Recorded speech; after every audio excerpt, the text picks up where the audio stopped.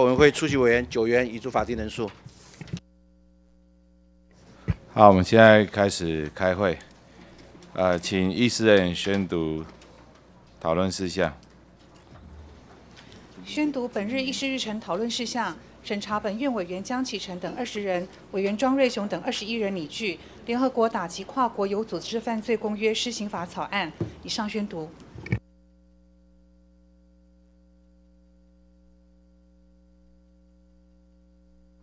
好，我们介绍一下我们目前今天出席的委员跟官员啊，在场的委员有李孙林委员啊。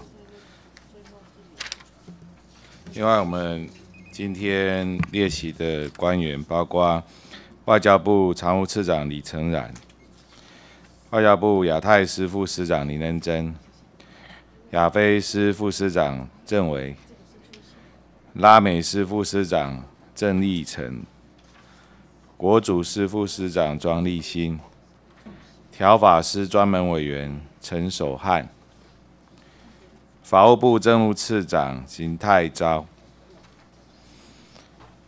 法务部检察司主任检察官王胜辉，司法院刑事厅刑事厅调办室法官陈文贵，内政部警政署刑事警察局副局长黄家禄。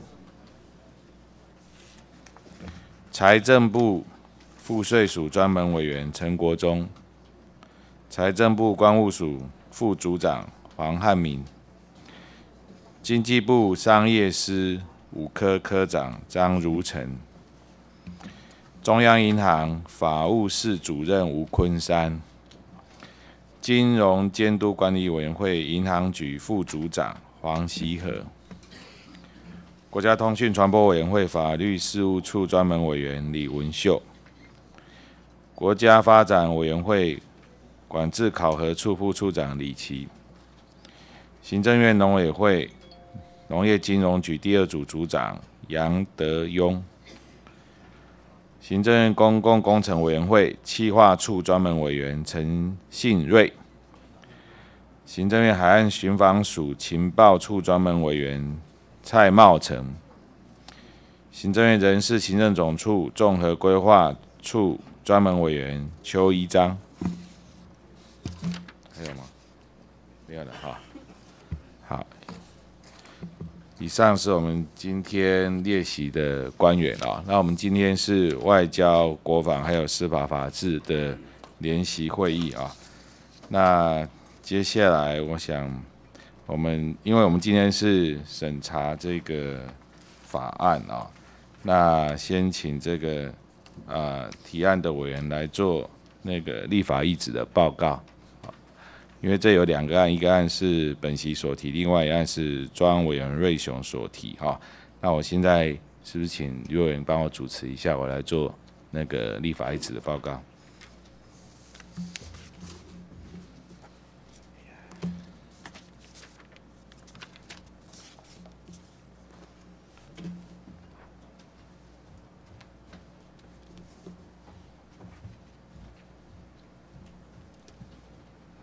有请江委员。好，谢谢主席啊，还有各位呃长官同仁、各位委员，呃，今天本席还有其他呃委员啊，总共二十人啊，我们提有关这个联合国打击跨国有组织犯罪公约实行法的一个立法啊。那西元两千年十一月十五日啊，联合国大会通过《联合国打击跨国有组织犯罪公约》，也就是 UN Convention Against Transnational Organized Crime 啊。那而且在西元的二零零三年的九月二十九号生效。那它这个公约的目的主要是在促进合作，以便更有效地预防还有打击跨国有组织的犯罪。那么为了展现我国在打击跨国有组织犯罪的一个决心啊，同时跟全球打击跨国有组织的这个呃有组织犯罪的趋势，还有国际法治来做接轨啊，呃，以便有效预防跟打击跨国有组织的犯罪。呃，我们认为必须积极推动这个公约落实在国内啊。因此，本席跟其他同仁共同提出来，呃，联合国打击跨国有组织犯罪公约实行法啊这样子的一个立法。那虽然说我们的条约缔结法哦，在呃去年七月十一号公布施行啊，那也是当时啊，我个人也有提修法啊，那也在这个委员会通过。那这个条约缔结法的第十一条有规定啊，条约案经立法院审议通过后的生效程序。那今天法务部的报告里面有提到，就是说这个条约缔结法里面的第十一条有有相关的这样的规定，所以啊。法务部认为这个公约应该由法务部按照条约缔结法的规定送立法院审议，再由行政院转成公总统公布生效即可。那因为啊，我们本身并非啊联合国的一个会员，所以我们在公约签署上面有它的困难跟限制，这些我们是可以理解的。所以这是为什么我们在订立条约缔结法的时候有这样的一个但书啊，就是一旦我们在联合国上面没有办法。呃，签订或存查的这些公约，可以经由国内的立法审议之后，交总统进行公布生效，变成国内法的一部分啊。但是本席在这边必须强调，我们今天提出来的是，呃，联合国打击跨国有组织犯罪公约施行法啊，它并不是公约本身啊，它是一个施行法。当然，行政部部门如果认为啊有必要。也必须，那就必须赶快把这个公约送到立法院来审议。审议完之后，啊，再由行政院交由总统去公布。但是那是公约本身啊。今天我们定的是施行法，这两者的内容其实并不相违背啊。更何况这个立法者也有宪法所赋予的权利啊。那立法者透过订定施行法，让这个公约。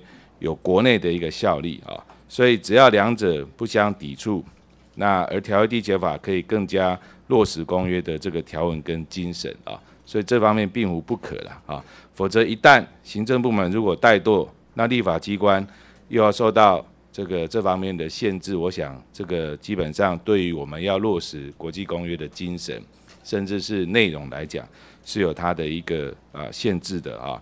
那这个对于我们要打击。呃，跨国有组织犯罪的一个决心的展现啊，也会构成阻碍啊。所以，这个公约的内容本身啊，我想我们还是再次呼吁行政部门应该赶快提到立法院来做审议啊。那我们今天主要是针对这个公约在国内施行上面，必须要有个施行法，来让行政机关有进一步的一个依循啊。那如果可以通过的话，我们相信，不管是公约本身或者是施行法，它都对未来法官在做相关的这些犯罪的裁定上面的时候，它其实它更能落实国际公约的一个精神，也更能够引用，那也可以进一步彰显我们在呃这个不管是配合啦啊，或者是呃依循联合国打击跨国有组织犯罪。公约这样子的一个一个精神啊，所以本席今天在这边主张来呃通过啊，呃希望大家一起来支持啊，我们所提的联合国打击跨国有组织犯罪公约的一个实行法，同时也再次请法务部尽快将联合国打击跨国有组织犯罪公约本身啊的内容能够送到立法院来审议，也让这个公约条文可以落实在国内啊。以上说明，谢谢。好，谢谢江启成委员。我们有请下一位委员庄瑞雄委员就呃联合国打击跨国有组织犯罪公约实行实行法草案立法意旨做报告。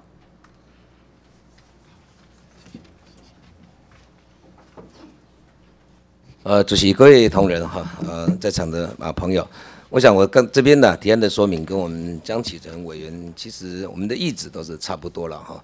我们虽然我们不是联合国的一个会员国。但是做了一个呃国际社会的一个成员呐，我们为了去展现我们打击跨国有组织犯罪的这样的一个决心呢，要去赋予公约具有国内法的一个效力啊的一个联合国打击跨国有组织犯罪公约的一个施行法草案。我想这样这样的一个草案的一个我们这样审这个法案呢，它有一个重大的一个意义啊。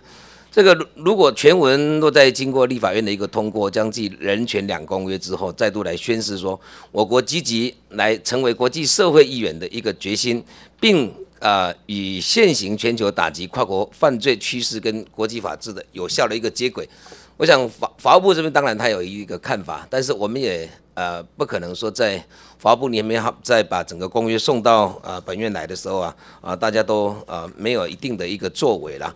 在联合国打击跨国有组织犯罪公约制定的一个目的，我想在指导并提供各国政府打击跨国有组织犯罪的一个法制跟政策内容，包括对跨国犯罪的一个预防、情资交换啊被。啊，判刑人的一个移送、被害人及证人保护及不法 资产追回等执行这样的一个机制，促使呃世界各国共同努力打击跨国有组织犯罪的一个议题啊。到现在共有一百啊将近两百个、一百九十七个啊缔约国，由于我国在一九六一年退出联合国，没有办法来再参加联合国的一个活动啊啊，所以这十多年来没没有去批准啊该公约。为了加强跟国际的一个结果，我我们应该啊尽速了来完成啊这样的一个啊法案的一个立法。谢谢。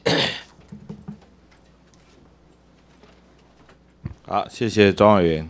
啊，我们这个立法一直说明啊，就先到此啊。接下来我们请呃这个今天的外交部啊，还有法务部相关机关来做这个口头的报告啊。那我先请外交部李次长就这个草案的立法意旨的应对来做报告啊。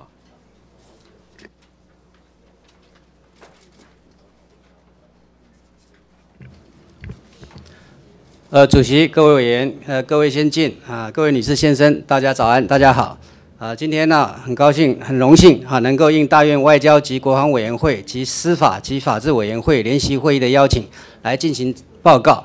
啊，大院长期以来鼎力支持外交的工作，对本部提供许多宝贵的建言，并积极参与我国会外交，贡献良多。本人仅在此代表外交部再次表达由衷感谢之意。以下仅就联合国打击跨国有组织犯罪公约施行法草案审议案提出报告，敬请各位委员会议指教。啊，因为刚刚两位委员已经就本公约的背景啊，有很详细的说明啊，所以我略过我们书面的第二大项啊，直接进行到第三大项，我国制定本公约施行法之必要性啊。那行政院啊，前考量我国特殊国际的处境哈，那觉得本公约如果经总统批准后，能否顺利完成交存国呃联合国秘书处呃秘书长之手续啊，仍有待克服困难了。所以啊，认为由于法律明定公约在国内法律定位及效力之必要啊，所以在民国一百零三年十一月的时候，有凝聚一个公约的施行法草案，函请大院来审议哈。那大院为了展现我国参与国际共同打击犯罪及维护世界正义的决心啊，并实践公约揭示的规范精神啊，认为有将公约内容落实于国内之必要。而参照我国立法通过《儿童权利公约》及《身心障碍者权利公约》施行法的模式，于公约经大院审议通过前呢，先行制定公约施行法，以工作各级机关啊政府机关执行公约规定事项办理依据之做法。那本部啊尊重大院及本公约主管机关法务部的权责。啊，那纵观本次大院审查的各个草两个草案版本哦，其内容就本。本法的宗旨、公约规定的解释适用，各级政府应依业务执掌筹划、推动及执行本公约规定的事项，法令与行政措施不符本公约规定者，是定期检讨改进及政府打击跨国有组织犯罪报告制度的建建立等级啊，均已有明定啊，啊，立法体力啊，堪称很完备啊。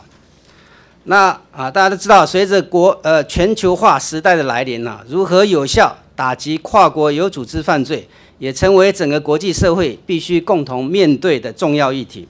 那我国除致力推动完成本公约之审议及后续立法程序，并积极与国际社会进行刑事司法互助合作及情资交换，并与全球打击跨国有组织犯罪之趋势与潮流接轨，并兼顾我国国家安全与全体人民的福祉。那以上报告，敬请各位委员不吝指正，谢谢大家。好，谢谢。下一位，我们请法务部次长做报告。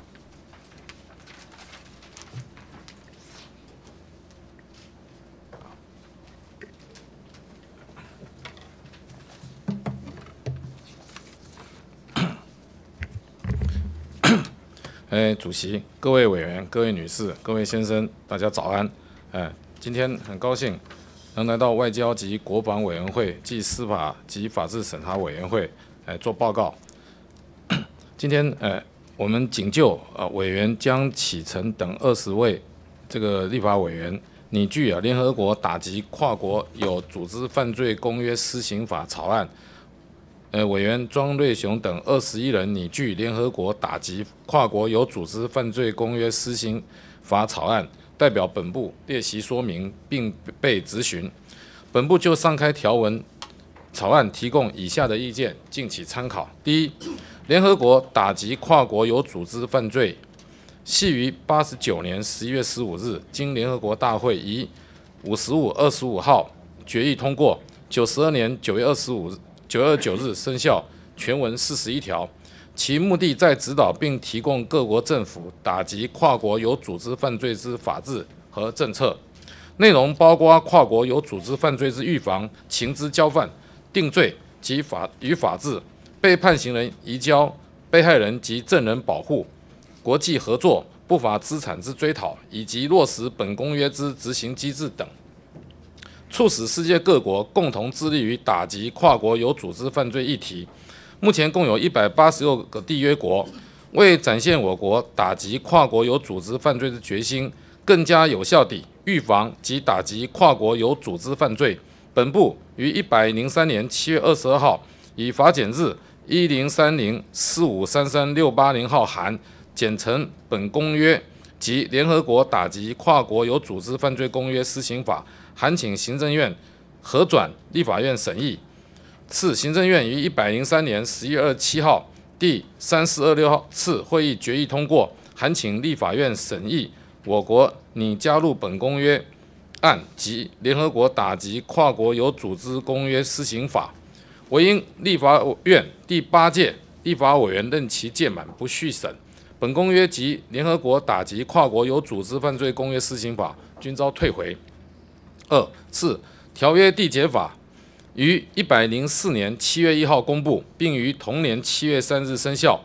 依照该法第十一条规定，我国有关目前积极推动中国际条约，倘已完成立法审议程序，并经总统颁发批准书、接受书、赞同书或加入书，纵因情况特殊致无法互换或完成存放者，仍得由主管主办机关报请行政院转呈总统进行公布，且该条约自总统公布之生效日期起具有国内法的效力。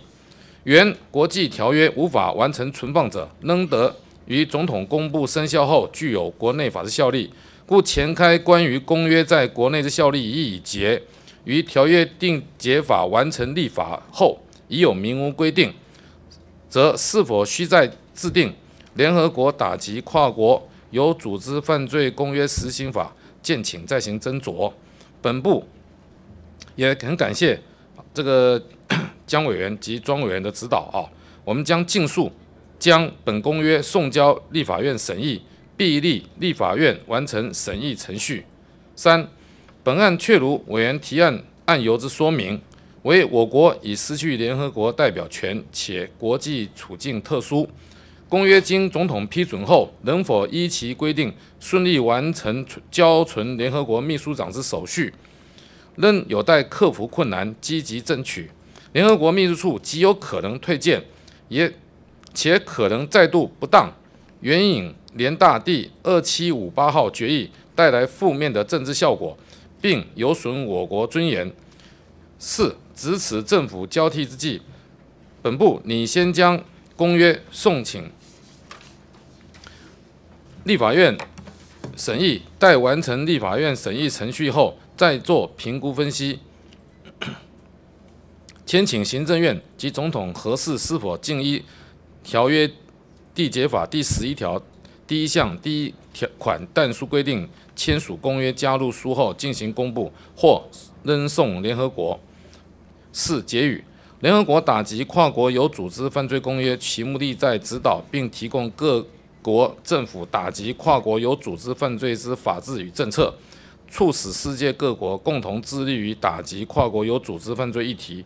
本部业已面对此一重要议题，并将本公约的重要精神纳入组织犯罪条例修正草案，其能尽速通过修正，必与全球打击跨国有组织犯罪之趋势与潮流接轨。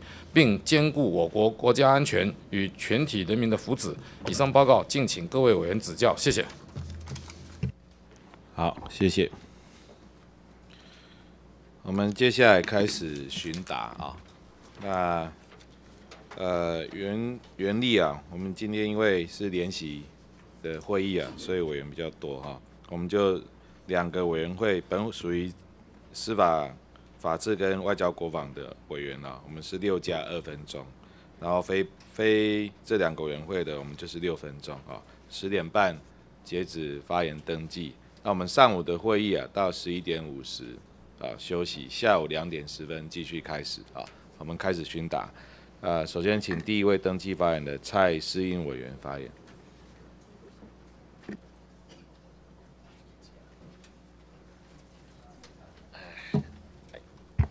呃，主谢谢主席哈，能不能先请主席请我们外交部次长，请外交部次长备询。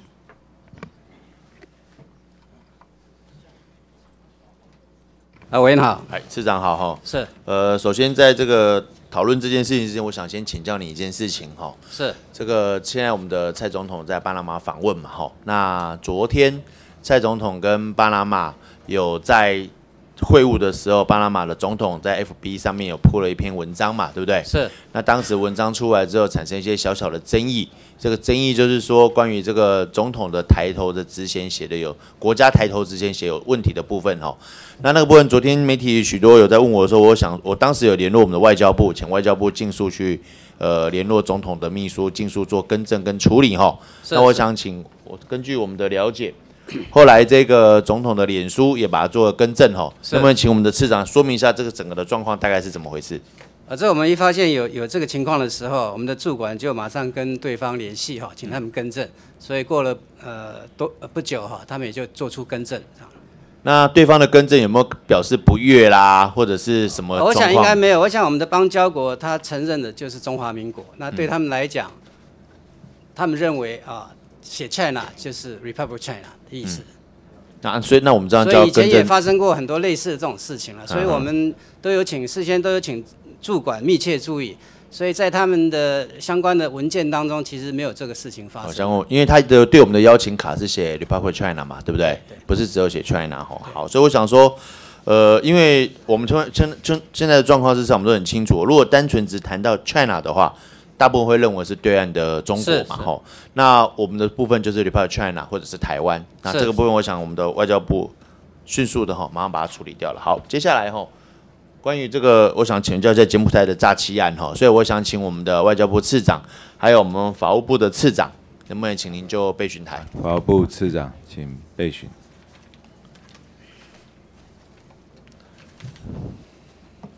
呃，两位次长吼。我想说，这个柬埔寨的诈欺案吼，我在这边还是要正式的询问吼。目前这个案子你们掌握的状况是怎么样？这应该法务部比较清楚吧？证据掌握，证物证据掌握。目前的你们掌握的进度是如何？这证物证据要要下，要下，就是证物跟证据。呃。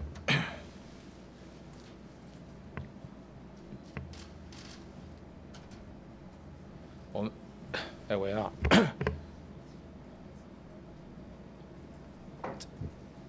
怎么样？哎，我们这个跟委员报告一下啊，因为今天来讨论的啊，主要是讨论这个打击跨国有组织的犯罪啊。那详细的资料啊，是在我们那个在我们部里面的。不过啊，我跟委员报告一下，就是说，这个我们哦，这个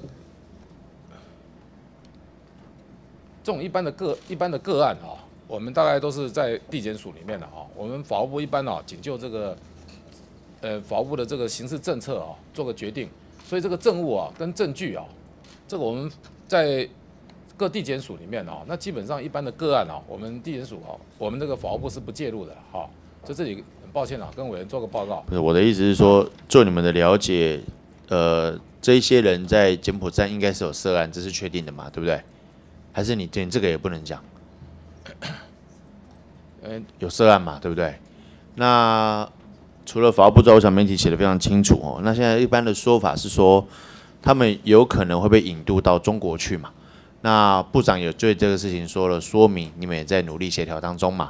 那我在问的时候，在这个部分，你们目前有没有什么新的进度？还是说这一些人目前还是留在柬埔寨，已经还是都已经被送到中国去了？你的了解是怎么样？你们的监管讲您比较清楚。呃，报告委员，这个我来补充报告一下哈。这样的，第一个，我们在柬埔寨没有设处了。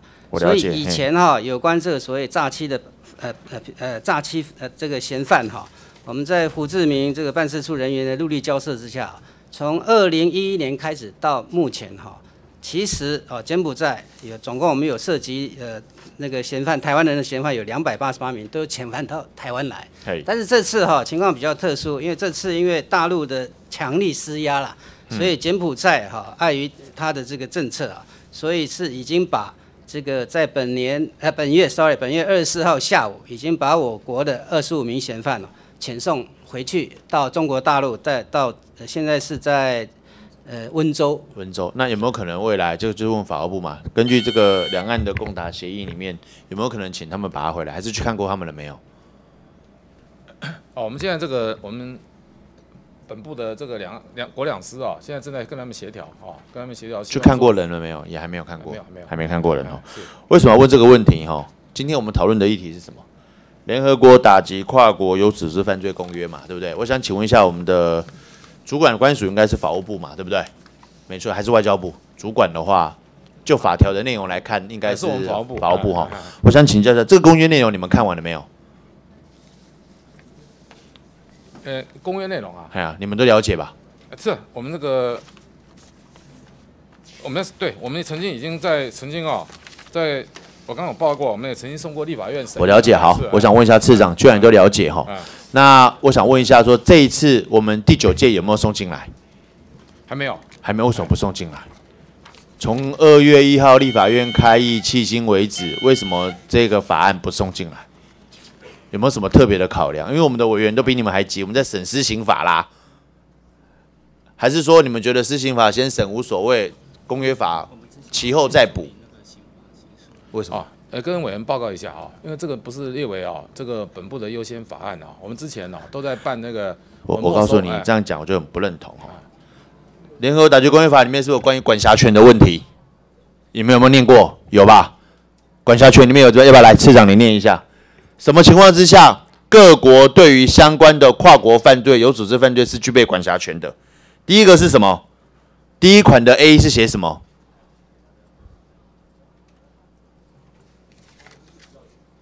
你要需要你自己这边看内容。你第一款的 A 是什么？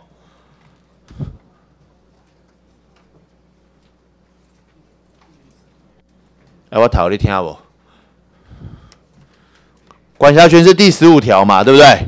第十五条的情况叫做各缔约国啊，在下列各个情况采取必要措施，以确立对本公约的第五条、第六条、第八条、第二十三条确立犯罪的管辖权嘛，对不对？于是乎呢，它有下面几款，第一项的 A 是写什么东西？我第十五条第一项啊，A 款是啊，犯罪发生在该缔约国领域内，或者怎么样，或者 B，或者呃 B 啊，或者 B 犯罪发生在悬挂该缔约国国旗之船舰上，或以依该缔约国法律注册登记之航空器内。对，大概就是说犯罪地的意思嘛，对不对？是不是市长？犯罪地在哪一个国家，那个国家有优先审查的审判的权利嘛，艺术辖内嘛，吼。再来呢，二，在不违反本公约第四条的规定之下，缔约国在下列情况之下可对何种犯罪行使管辖权？里面的 A 是写什么东西？呃，犯罪系针对该缔约国国民什么啦？你在讲什么？犯罪，你你讲是第二对啊，犯罪嘛，是针对该缔约的国民嘛，对不对？那 B 是什么？犯罪者为该缔约国国民或在其境内有惯常居所之无国籍人。好，OK，主要是这两个东西嘛，对不对？A 跟 B 嘛。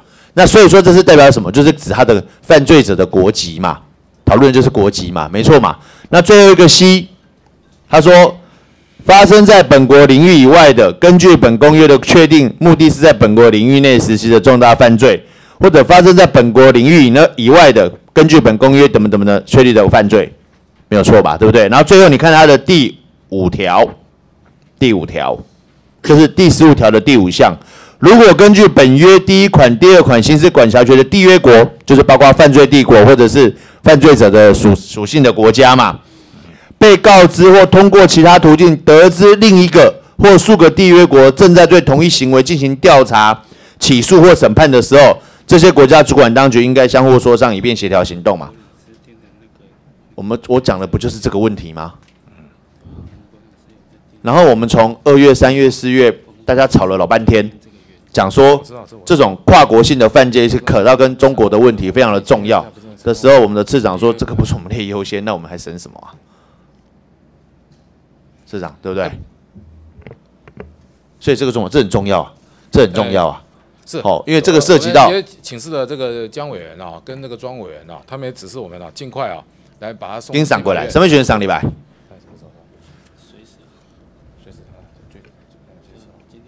好，我们今天送出来。今天就送哈。好，那这样我们至少完成了第一件事，先把它送出来。潘姐，不好意思，主席，哇，接下来有个问题，他们讲，他们回答太慢了，抱歉。最后一个问题。这要问外交部的哈，来最新的一个案子哈，今天早上才发生的土耳其的机场，那个外外尔光那个法务部长，您您可以请回哦，我们问一下李市长就好了，一两句。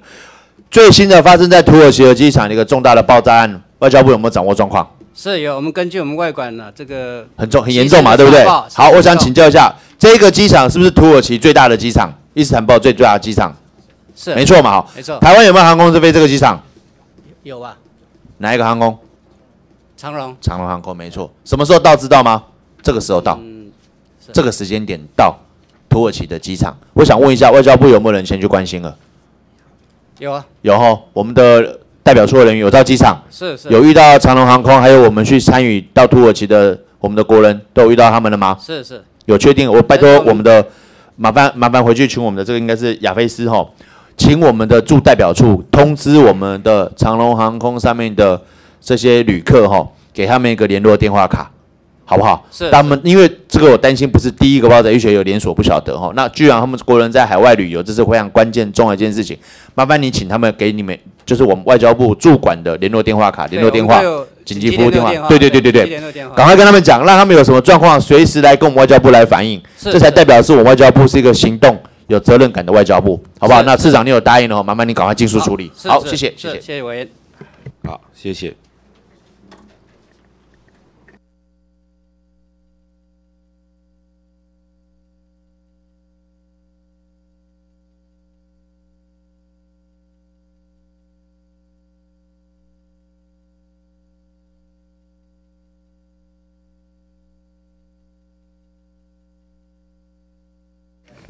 我们请江委员，谢谢。好，谢谢主席。麻烦主席先请外交部的次长。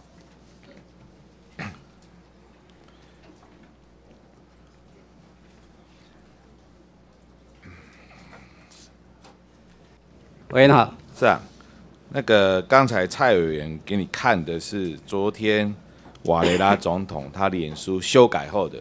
但我现在给你看他修改前的，啊，修改前的当然就是把我们写成是 China 挂号台湾了，哈。是。当然，呃，外交部是说这是漏列或者是误植，啊，但过去有这样的状况吗？呃，过去也是有，也是有，以前也是有，常不常发生？呃，不算长，哎，但是多久发生一次？我说在总统出访的时候发生吗？还是在什么情况发生？对，以前总统出访有发生过，在哪个哪个时候，哪一个总统的时候，记不记得？有没有？有没有？你也你也想不起来嘛？这应该不会常发生才对啊！啊，所以刚刚讲说是常发生，我觉得不不太可能常发生。这是一个总统自己的脸书，哎，我相信也不是他自己写的啦，这一定都幕僚写的嘛，对不对？对，所以上礼拜，啊不是上礼拜啊，是这礼拜，吴市长来的时候，我记得咨询我，我还特别提醒他小心，是小心，是你离开的时候，背后就一个冷箭。啊，当然这个听起看起来好像是你可以用解释说啊，这是不小心啊，物质啊漏裂啊等等，但它发生了，对不对？它发生了嘛，啊，所以我才请教你说这个常不常发生啊？然后你有没有去了解背后的一个实际的状况？啊，当然我觉得也必须表达我们在这方面的一个一个一个严正的关切啦。是啊，我觉得外交部你要去做后续的这些作为嘛。而不是任由他说啊，我我不小心呐，我这个呃不是故意的啦，等等的。那我们怎么怎么知道接下来他在其他官方文件上面会不会每次都要我们去更正呢？那这对我们国家，而且是这种邦交国，他不是说非邦交国，是我们邦交国。我们邦交了多久了，市长？我们跟巴拿邦交多久了？一百一百年，超过百年了嘞，对对不对？他也应该知道我们 care 这个东西嘛。哦，虽然说你可以说去把它讲成说啊没有错啦，这个 ROC 就代表 China 用 China 来代替，但是我相信他很他很清楚 PRC 跟 ROC 之间的差别。是另外一个承认 ROC，但是承认 ROC 的学历吗？学历是吧？对啊，应该有，有啊，呃，互相有互相有承认，互相有承认。那为什么这一次蔡总统在那边的时候要跟对方提到说，哎？来拿我们台湾奖学金的，拿了我们的这个学历回去之后，有认证上的问题，为什么这样？啊，这个你看，来台留学生遇到学历认证问题，哎，蔡英文请巴拿马总统积极解决。呃，跟跟委员报告哈，因为这个主要是那个等于是相关学生的一个疏失啦，因为我们那要需要经过验证，比如说可是需要大到叫。总统在总统面前，总统跟总统去谈学历认证的问题。邱西郎，哎，我们是邦交国，哎，叫总统去这么重要的国事会面，然后去跟他谈，哎，我们来解决学历认证问题，笑死人了。第二个，这些都拿台湾奖学金呢，还是拿我们奖学金的呢？结果你们外交部要干什么？到那边，人家跟我们反映说啊，这个学历拿回去之后，我们有认证上的问题。这也难怪，在脸书上这一种小小问题，不能讲小问题啊！我不晓得他是故意还是有意还是无意，可是他就发生了，给你漏列了前面两个字，这无端生出一些啊！我常常讲，有时候在这种外交的过程当中，就是一些小枝微末节的东西啊，会让大家觉得不太舒服。这是我们外交上面其实常常会遇到的。啊，所以我在这边要特别提出来，就是像这种学历认证，到底到底现在我们到底卡到什么问题？成我们的邦交国一百多年，然后会发生这种学历认证问题，然后要蔡总统第一次的出访去解决学历认证问题，那不是很奇怪吗？这到底是哪里出问题啊？市长？是，我们再深入去了解。你深入去啊，所以你还不清楚、不了解啊，对不对？而且巴拿马是唯一哦，跟台湾互惠提供留学奖学金的中美洲友邦，是唯一的。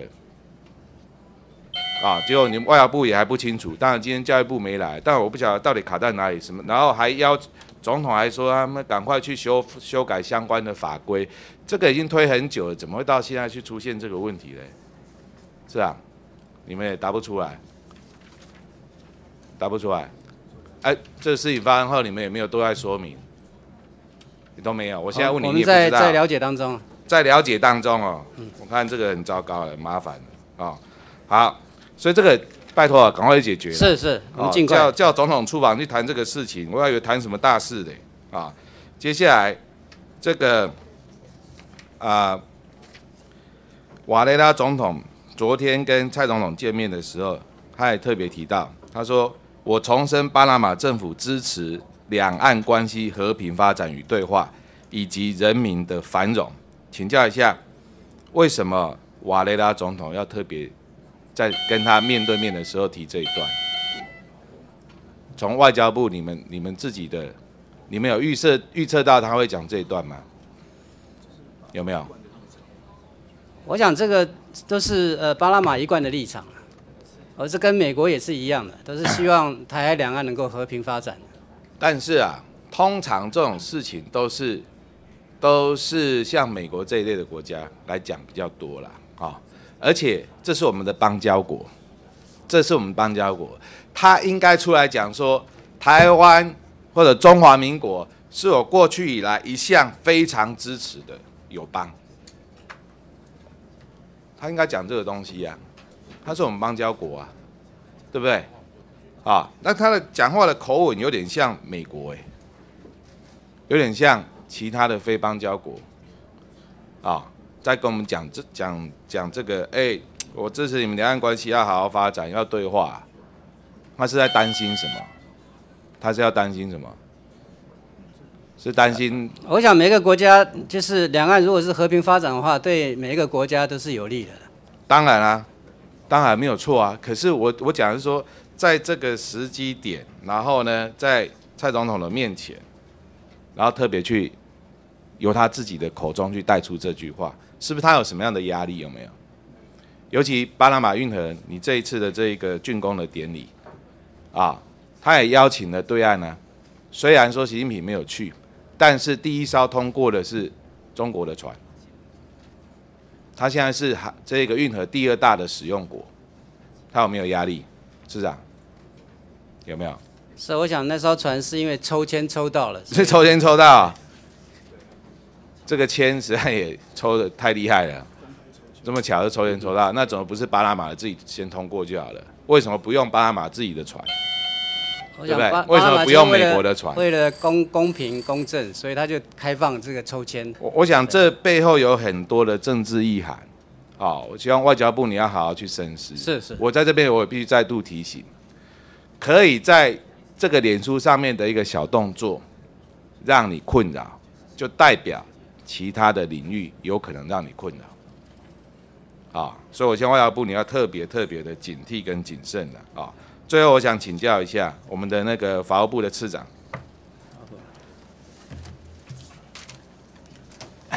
两两位次长都都请回回答我这个问题：到底我们今天审这一个施行法，你们两个部会的立场有没有一致？你们两个部会的立场有没有一致？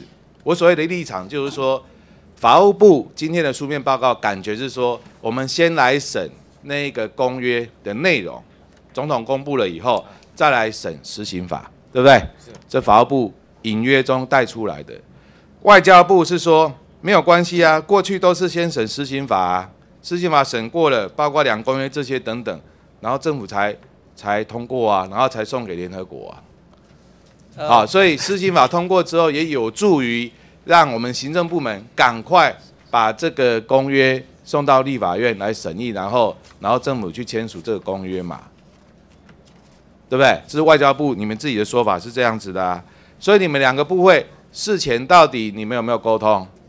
你们立场不一样，我接下来怎么审？我等一下，等一下我要主持，那我到底要不要审？法务部说啊，等一下，等一等啊，等我们公约来审完，你再审施行法。外交部说没有关系啊，过去都是先审施行法啊。呃，报告委员，我想我们外交部的呃的立场啊，主要就是尊重法务部，因为法务部是这个业务主管。你现在又尊重了我在那个报告里头有写了。啊？那那法务部嘞？哎，跟委员报告一下哈，因为在一百零四年七月一号这个条约这个定缔结法这个生效以前啊，那的确哈，这个是施行法哈，我们定施行法。那这个法现在条约条约这个缔结法通过之后啊，我们这个一到第十一条啊，条约经立法院审议后，依下列程序等来办理啊。这个刚刚已经跟这个委员报告过了。那我们既呃还是希望说啊，能够先把这个这个条约啊，这个来依照我们条约缔结法第十一条的规定啊，希望立法院审议通过后来审议通过。我们还是希望能够尽量往这边来走了哈。当然了哈，如果可是你们到现在都没有送来，我们我们今天会送到行政院去，今天才送来哎，因为为什么今天才送来？我们如果不排这个，不排施行法的审议，你们根本连送都不送啊！这个跟委员报告一下哈，我们在上一届会期曾经送过啊，但很感谢委员啊，昨天跟我上一届届期不连续嘛，是哎没有审查，是哎对不对？对哎这一届为什么不送来？我觉得很奇怪啊。然后你们推给说是条约缔结法通过了之类等，我已经昨天也跟你们讲过有有有有，这根本就是不相抵触，是是你们自己没有送，是是是好不好？是好很感谢委员，好，我们今天就马上送啊，谢谢。好，谢谢。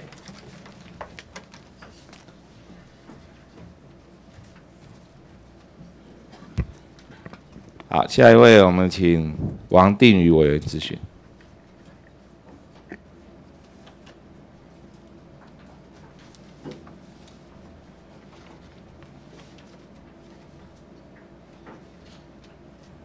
呃，谢谢主席。呃，我们麻烦那个邢次长，啊，邢次长，请。另外我们外交部李次长。外交部李次长，啊，两位请备询。刚才我们几位同事问到的问题啊，其实很类似，就是说我们面对公约跟公约的施行法，台湾常有个尴尬，就是我们定完的东西哈，如果照程序我们要送到联合国秘书处的话，被驳回的机会，甚至连理都不理你的机会相当大。好，所以我本席这边要请教，就是说我们跟国际接轨是好事情，但是如果我们立了一个法，立了一个施行施施行法，结果他不承认你。变成绑到了约束了我们，可是我们却无法在其他国家享有同等的对待哈。我我先请教看两位市长哈，我们这个法定了之后，总统如果不管公约或施行法，公约如果我们补送进来通过了，送到联合国的下场，外交部你判断是什么？联合国会不会接受？呃，我们以前有试过哈，是没有成功啊。试过试过，结果是什么？结果就是没有成功。他就是直接给你退回嘛，也没有加诸任何文字，他就是不受理。他有没有告诉你退回的理由？没有，没有，一个字都没有。所以，我我们现在这个公约我们立完了，有的是人权，我们可以对内保护自己，还好哦。儿童公约啊等等，这个是跨国的有组织的犯罪，所以我们一旦立个法，说我们要尽我们国际义务，这好事。结果我们要求别国要比照这个公约。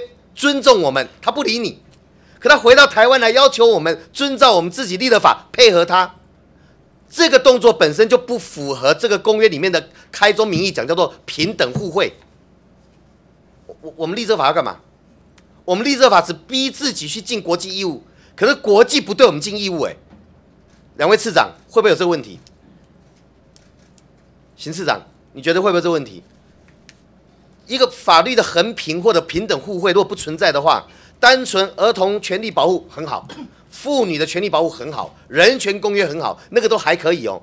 这个是跨国的组织犯罪，他要求我们相对提供，我们要求他说要求不到的时候怎么办？你们有没有想过这个问题？那如果两位没有答案的话，那我问更具体一点了，比方说，在这一个公约里面。它的 UN Convention Against Traditional Organized Organized Crime 第四条，第四条哈，我们就没有答案了，你知道吗？第四条讲什么？第四条叫保护主权，它主权里面说的就是在履行这个公约的时候，缔约国不干涉人家的国内内政，然后呢，也不能把我的法强租于另外一国里面。去行使，你就碰到一个问题了。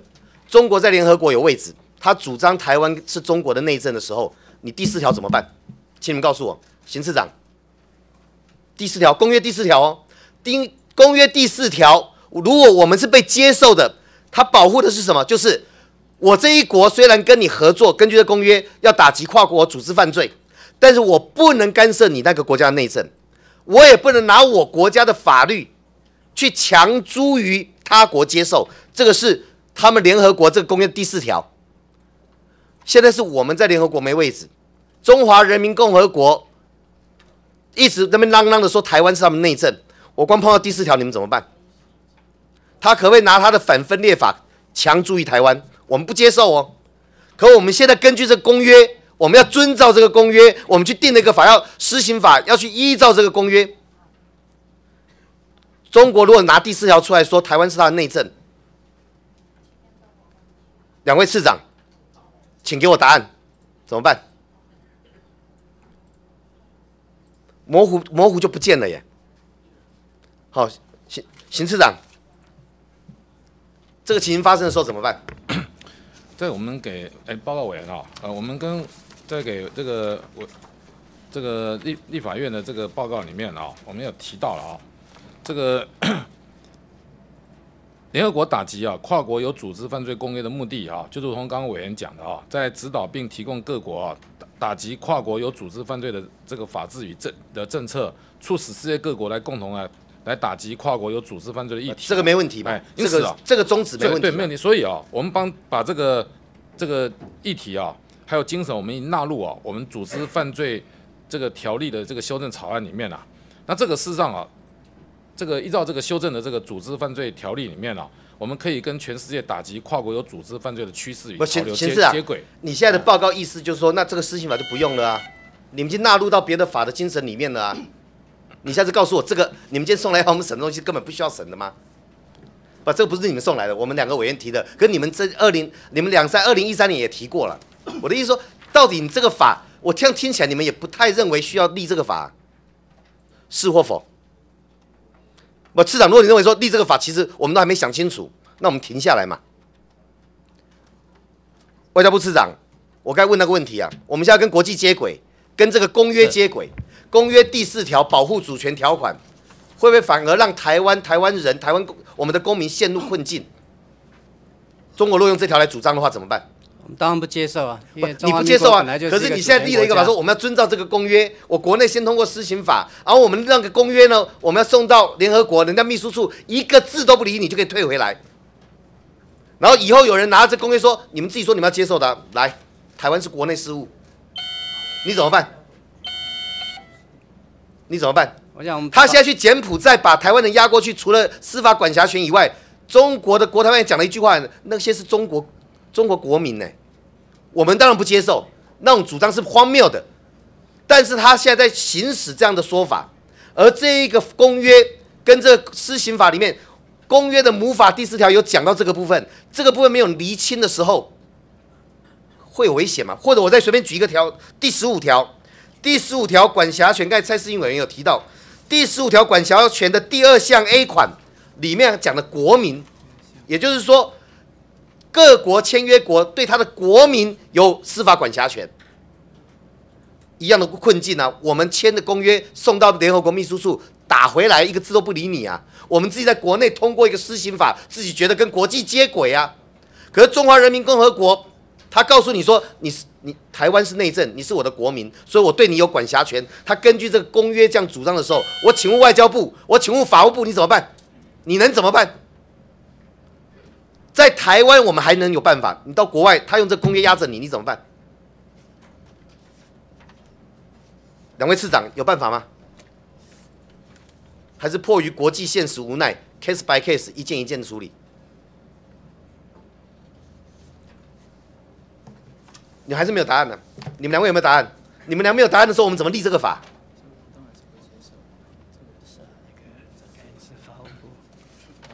嗯，哎，报告委员啊，来，邢次长，哎，这个委员委员的这个指示啊，所以我们这个给这个立法院的这个报告啊，这个也特别提到啊，这个我们希望说啊，依照这个条约缔结法来这个送立法院来审议啊，哎，所以呢，所以应该公约先来，然后公约送到联合国，联合国承认我们对国我们的我们这个我们的管辖权，我们的国内确定下来，可那条路眼前的政治现实可能走不通嘛。我不是苛责两位，我是告诉各位说，这个法定有一些国际现实，不是你，不是我，我们我们无力解决。我坦白讲，我今天不是说要你们去解决这个国际的现实，而是现实在那里存在着，而我们把它变成国内法的时候，我们会自己跳到那个现实的陷阱里面去。我在提醒这个事情，这个这个国际现实是北京造成的，不关你们的事。我们台湾很努力的在这里面挣扎着，奋力的努力的打拼着，但是当这个联合国这些条款、这些 article 有一些陷阱在里面的时候，我们要小心处理。比方说，我这边拿我们跟中国的共打协议，海峡两岸共同打击犯罪及司法互助协议，协议里面第二十一条讲的清清白白，不能单方面变更或停止嘛。法务部应该很清楚啊，现在中国等于单方面给你停止了，对不对？次长，现在共打协议还有用吗？邢次长，现在中国还有在遵守跟我们签的共打协议吗？有还是没有？主席，一分钟就好，我一分钟结束。现在中国到底还有没有在遵守跟台湾签订的共打协议？法务部，现实上，我们我们讲实话就好了嘛，这是一个真实的状态啊。部分啊，暂是暂缓啊，暂缓有一部分。他现在变成是他想要的，他配合，你知道吗？变成我我们台湾是一个文明国家，我们签了他想要的，我们依法配合。哎，我们该该得的他不配合了，对不对？所以这叫单方面终止局部的协议。一个签下来协议都可以这样子，何况是联合国的公约？小心呐，这真的要小心。中国跟台湾的差别就是，我们会遵守我们签的东西。中国随时可以根据人质、根据政治氛围做局部的变更或终止，这对台湾是危险的。请两位次长带回你们部里面去，这个要好好研究一下。谢谢。好，谢谢。下一位，我们请罗志政委员咨询。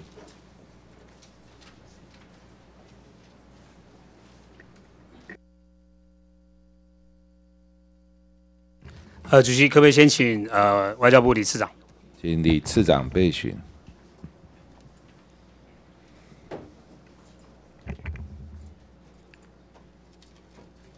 那委员好。呃，次长早。早。呃，最近因为蔡总统在巴拿马的一个所谓留言簿上面签了这样的一个东西，引起了一些讨论哈，就是所谓的 President of Taiwan 和挂号 ROC 等等哈。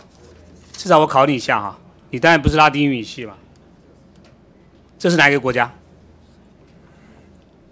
这边现场外交部有没有学拉语的？瑞士。用麦克风好吧？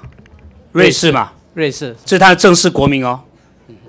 Confederation 哈 h a v i t i c a 是什么？是瑞士哦。有没有任何瑞士两个字在？没有啊。你看他其他的语言，德语、法语、意大利，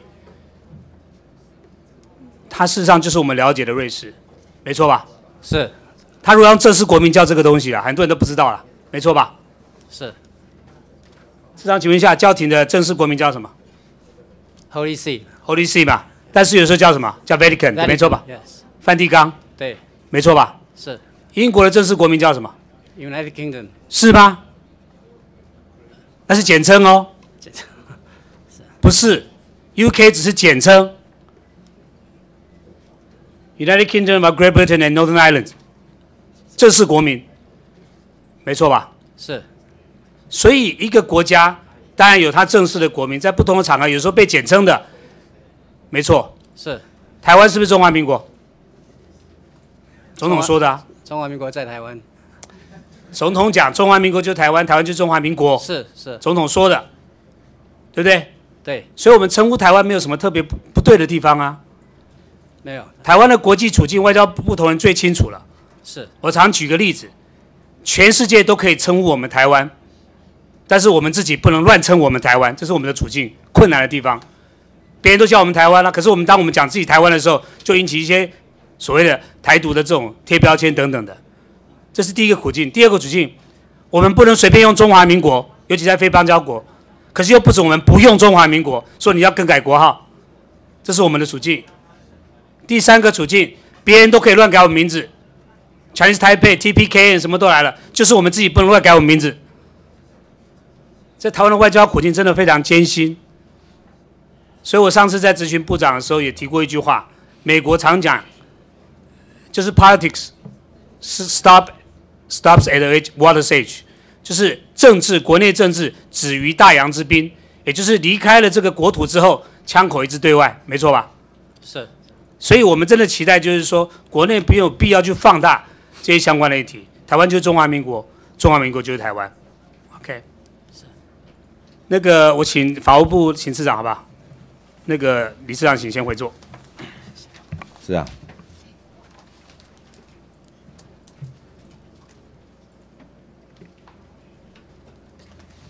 哎哎，委员好。哎，这样子啊，那个今天陆委会没有到哈，但是实际执行可能跟你们有关哈。我请问一下，国台办这两天说两岸沟通机制已经停摆，请问一下，柬埔寨这个事情，我们有没有跟他在联络？柬埔寨这个事情有没有跟对岸在联络？来，我们有没有跟他联络？有吗？还是不接电话？有。好。哎，委员啊，跟委员报告一下，我们本部啊，于六月二十四号下午一时啊。有收到公安部有关啊遣送在柬埔寨查获的二十五名啊我们本国籍啊嫌犯之通报，在当天下午五时十五分呢，公安部一陆续啊将二十五名啊我们本国这个嫌犯人人身自由受拘束之通报，以传真方式啊传真到刑事警察局。对，然后有没有再传过去？哎，刑察局资料核对完毕之后，一晚上七时许啊，以电子邮件啊传送到我们保安部。这二十五个人呢，都拘留在浙江省温州市啊。没有，我现在问的只是说，两岸之间这个沟通的对话还在不在？这还在，还在啊，还在，对，还在，所以并不是全部都中断了嘛。对，哎，所以针对至少针对柬埔寨这事情，两岸还在沟通当中，是，并不是所谓的所有的沟通机制都中断了，是，可能是陆委会那个系统热线可能中断了，可至少就这个柬埔寨个案来讲，两岸还是在沟通的，是，对不对？对，最后，好。接下来讲合作方面，沟通是一回事了。合作的具体做法有没有中断？这是我们关心的。那我们沟通完之后，对方有没有提出一些我们希望其获得的资讯跟答案？有没有？有没有？呃，我们在合作还在继续中了，哈，还在继续中，是，所以没有中断，没有，对不对？是。接下来问，共同打击毒品这一块，媒体有报道已经中断了，这是事实吗？共同打击毒品相关的合作机制还在不在？还是已经中断了？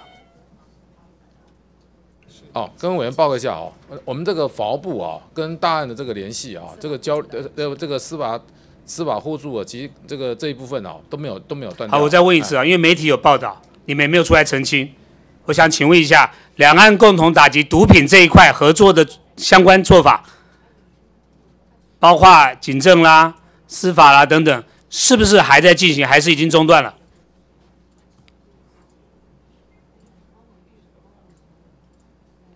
市长，跟委员报告啊。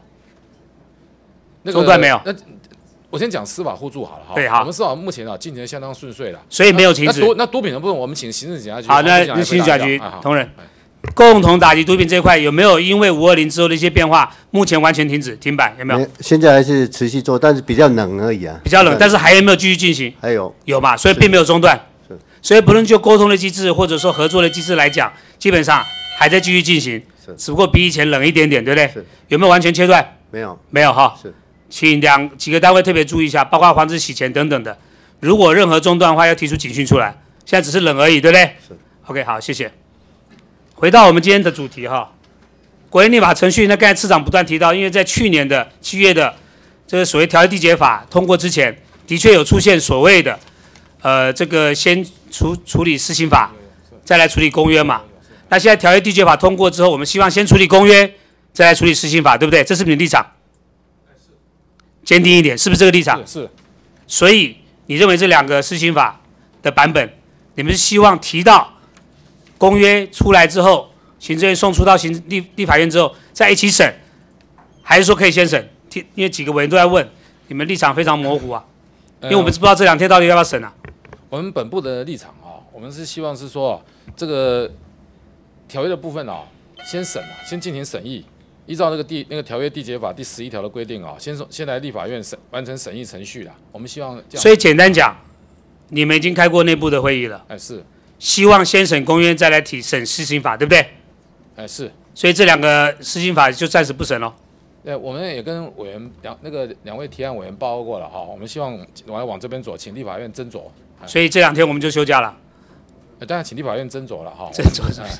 你的立场先说清。好，再回答一个点，就算就公约来讲，你们到底有没有仔细看过所有的公约内容？觉得通过公约会不会让我造成我们一些相关？呃，国内做法上的困难，因为刚才王定宇委员提到了，我们不能拼业绩耶。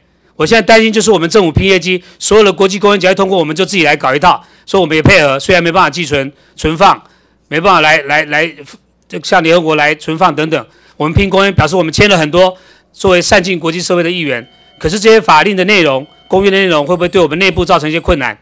有没有逐条来显示过？这个我们跟委员报告，我们都送过审议过，我们内部啊，当然都有经过研究，送过立法院了哈，再再送行政院的了哈，然后请再请立法院来审议的。因此我们在我们结语结语里面呢，我们也提出我们一个一个看法，就是说，在我们这个所有的这个精神啊，还有这个议题啊，我们都已经纳入啊组织犯罪条例修正草案里面了。我们希望能够尽速通过这个组织犯罪条例啊，把。跟全球打击犯罪、组织犯罪的趋势跟潮流来。简单，这又另外一个东西。你现在是公约通过之后，你认为没有必要通过施行法，直接用组织犯罪条例就可以处理了，是？是这样子吗？那这样我们两个委员提案就不需要了。你认为组织犯罪条例就解决了所有的施行上的问题啊？是不是这样子？这是行政院的立场吗？哎，我不是，我这个说明一下哈，这个这是我们。只在一分钟，抱歉。哎，法院组织犯罪条例修正草案里面呢，我们希望能够尽速通过了啊，但这个。这个，所以我们把这个这个打联合国打击这个跨国有组织犯罪公约哦，我们还这个还送到立法院，请立法立法院来审议啊，有没有必要？所以还是要请立法院来审。可是回答一个问题哦，因为它范围很广，包括防防止洗钱的部分、反贪的部分等等都有。哦。是。那这一部分不是说今天公约完之后就是要自动要要做生效啊？生效没有错，可是相关的法令的修正是跟着来的。是。对不对？你们有没有检讨过哪些法令可能必须要跟着调整的？除了施行法之外，可能防止洗钱工的做法，包括反贪的做法，都要处理哦。我只是提醒行政单位，就是说，当你们送这个东西到行政院，今天下午要今天嘛，是审完之后，相关的配套的法令的修正要跟着来，是，否则的话出现会汉格的地方，好吧？是是是，好，谢主席。好，谢谢委员指教。好，谢谢。下一位，我们请陈廷飞委员咨询。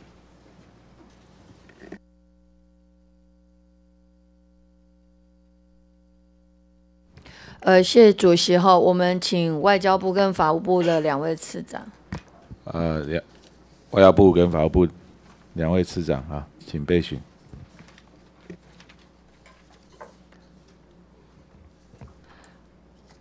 呃，我想先请教一下哈，到底我们的公约什么时候可以送出来？哎，委员好，我们今天可以送行政院。今天可以送行政院，为什么今天？在审实行法的草案，你们才说可以送公约。报告啊，我们在一百零三年啊十月二十七号，这个就这个行政院会通过啊，就函请立法院来审议我国啊，你加入本公约及联合国打击啊跨案跨国有组织。这是一百零三年十一月二十七号。对。但是会期不连续嘛？不连续，对。所以到目前为止，新的会期你还没送出来嘛？是。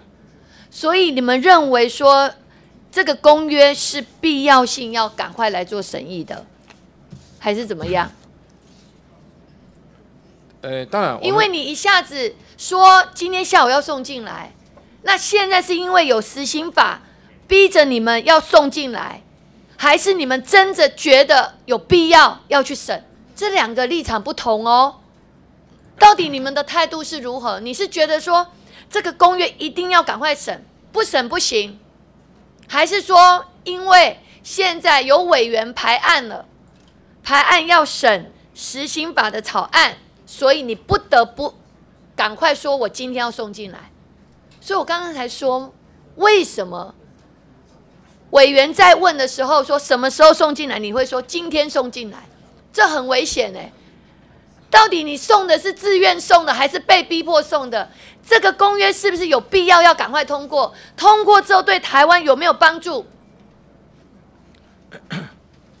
这个我跟委员报告啊，因为这个法案啊还要送到行政院，行政院还要审，这个还要审查之后，还要送立法院，还要审议啦，啊，所以这个如果说我们那个呃委员啊认为说这个条文啊有值得商榷的地方啊，在审议程序里面我还可以进行啊。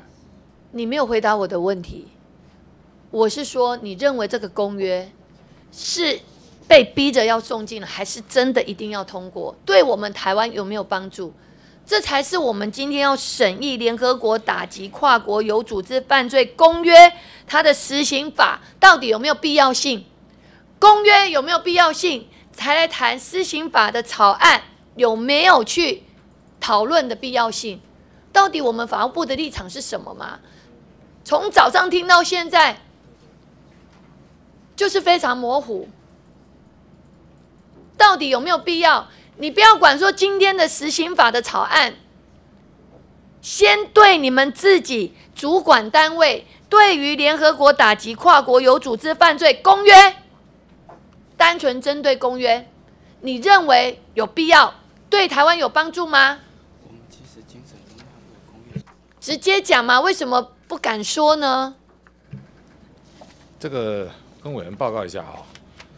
呃，我们在给立法院的这个报告里面啊，我们把这个对于这个呃联合国打击跨国有组织犯罪公约的精神啊，还有它这个这个政策啊，我们是这个本部是这个非常的这个认同啊，也非常的这个赞成啊。因此啊。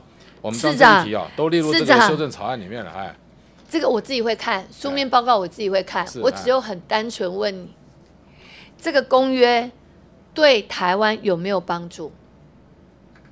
你认为，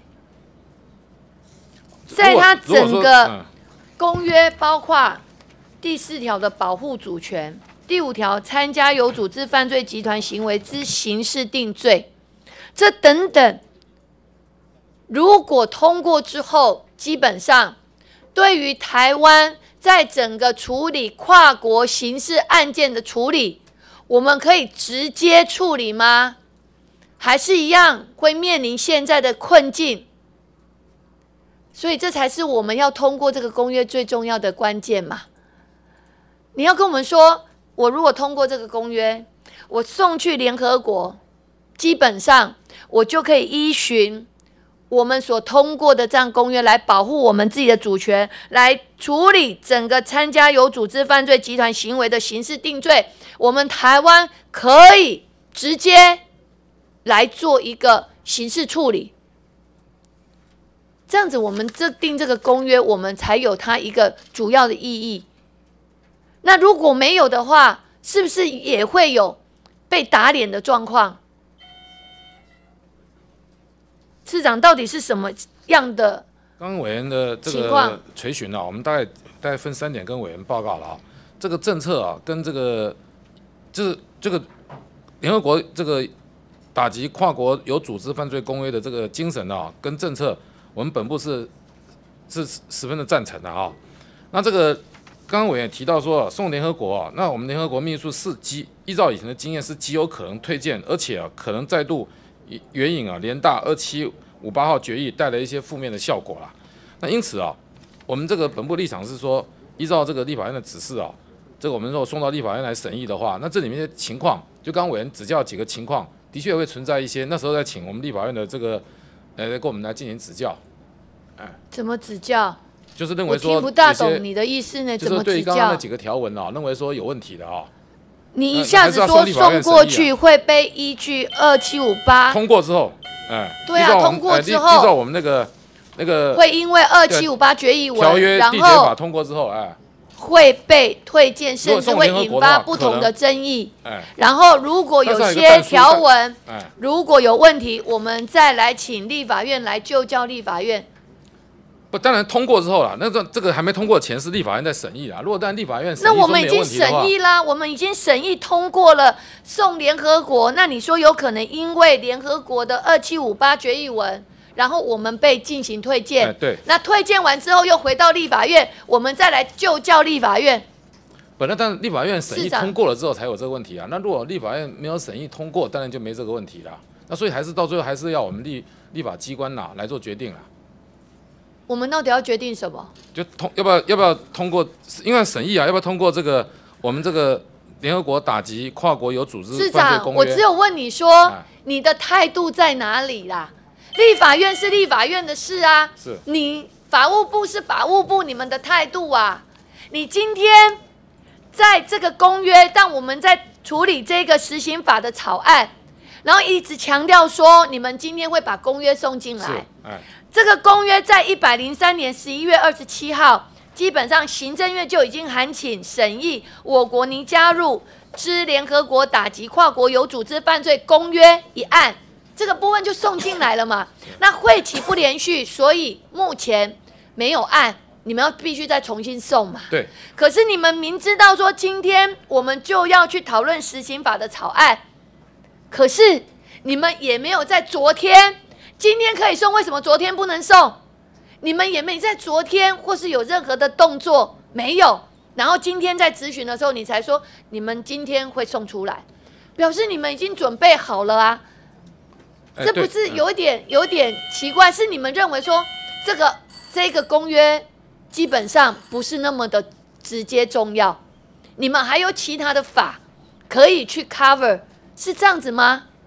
你应该讲出原因点啊，否则你今天一定会被质疑。为什么今天大家一问之后，你才说我公约今天要送？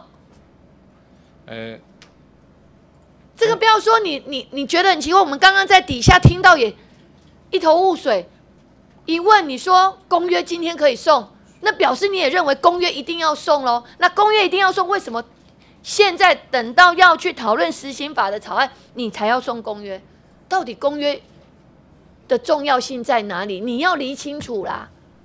他有没有必要性？是今天被逼着不送不行，还是说可以等到公约送了再慢慢来讨论？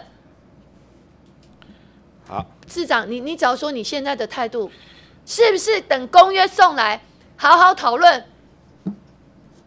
可能会对于整个我们这个联合国打击跨国有组织犯罪公约会比较有帮助，跟实行法会有比较帮助，是是不是如此？是，好，谢谢，我们时间到了哈。那个补充一下，那个次长，你刚刚没有说清楚啊，你要送出来，不是送到立法院，你要先送到行政院啊。所以你今天送出来是送到行政院，不是送到立法院啊。那行政院会不会送来立法院还不知道啊，这是你呃行政院跟执政党的一个立场啊。那那部分的程序跟立法院是没有关系的啊，立法院是等到你送来了，我们才决定要不要审查。那我们审查结果会怎么样？我们现在不知道，所以你不能把所有的过程都推到立法院来啊！啊，你的公约要不要送来立法院？你必须先走完你自己内部的行政程序啊！你先送到行政院啊，好不好？啊，好，下一位我们请啊许玉仁委员咨询。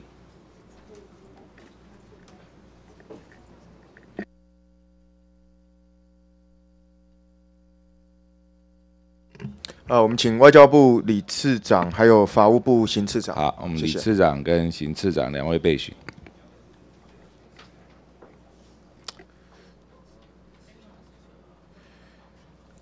我先请教这个李次长哦，就是土耳其这个发生爆炸案啊，那现在应该初步来看，有可能是恐怖攻击啦。那我想问一下说外交部在全世界这个呃布局的部分，应应这种突发起来的恐怖攻击，我们的 SOP 处理是什么？我们都有一个紧急应变的这个计划。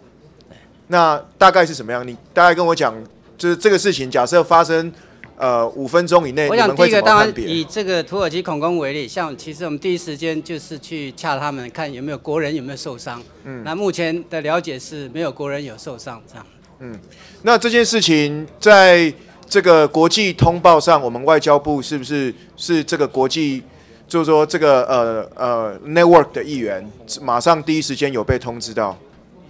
我想主要还是双边啊，就是平常我们代表处跟他们的检调单位、跟他们的安全单位都有联系。嗯，我我这边哈、郑重呼吁啊，这个国际恐怖攻击的事件会在今年美国总统大选之前，有可能会发生好几起。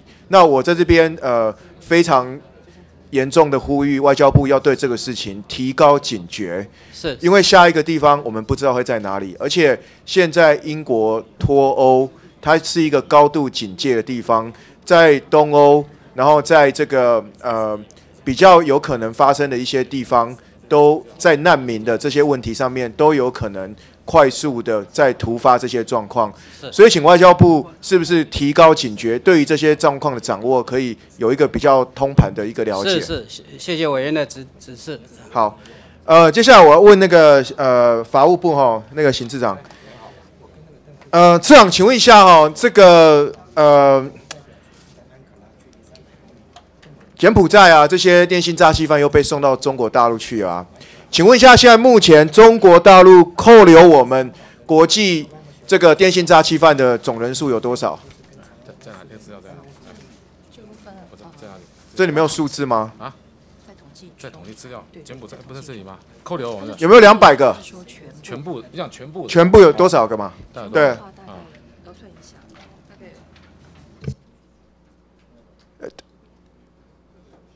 总该有个数字吧？怎么会现在手忙脚乱呢？呃，有没有两百个嘛？我们手边有资料，需要点时间统计一下。那个刑事局有没有好？呃，赶快统计哦。那这样我是想问你说哈，现在中国大陆是不是成为我们台湾电信诈欺犯的收容所？这些人什么时候可以回来？现在法务部到底对这些电信诈欺犯的一个掌握度到底是什么？我们两岸的交流、两岸的沟通，现在已经是完全降至冰点了。那请问一下，台湾的电信诈欺犯以后是不是就按照这个 SOP，在第三地犯罪之后直接直送中国？那是不是累积到五百个，在我们再包机请他们回来？哦，这个我跟委员报告一下，我们这法务部啊，这个因为透透过这个共打协议啊，都这个不要再讲共打协议了，共打协议你们讲很久了。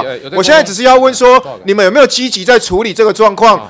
我在司法法制委员会已经问过好几次了，从上一任部长问到这一任部长，而且全世界这些电信诈欺的点不断不断的在发生。我跟你讲啦，下一个有可能会是在中南美洲啦，那是不是要送到大陆去？那是不是要集集了五百个人、两百两三百个人之后，我们再把它包机呃遣返回来，两岸直飞嘛，对不对？你的看法是什么？你讲清楚，因为我真的不少人你们法务在处理这件事情上，你们态度是什么？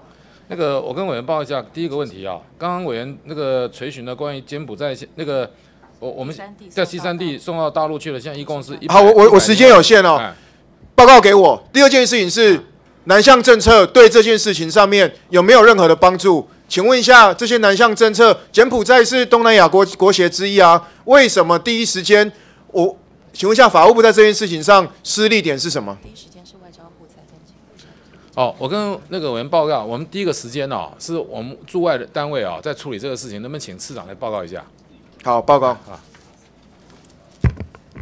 呃，我想我们对于这个所谓的这个电信诈欺的，我们都有一个 SOP 的。第一个当然就是要去呃先了解到底有多少人啊，确定那个人人民的人数姓名。第二个就是去探视，当然有，同时也要去跟他们的主，这就是当地国的那个机关啊，安全机构哈，检调机构哈，去接洽。这这些我都知道，因为在网络上都查得到了哈。这些我都知道。我要问的事情是。我们到底有没有办法处理这件事嘛？如果没有，就是说现在我们没有办法处理，现在是 pending，这你要讲清楚。现在一直不断的在发生。我咨询前就说过，全世界至少有六千人台湾人在世界做电信诈欺案的犯罪。我们如果政府没有办法处理，那要讲清楚啊。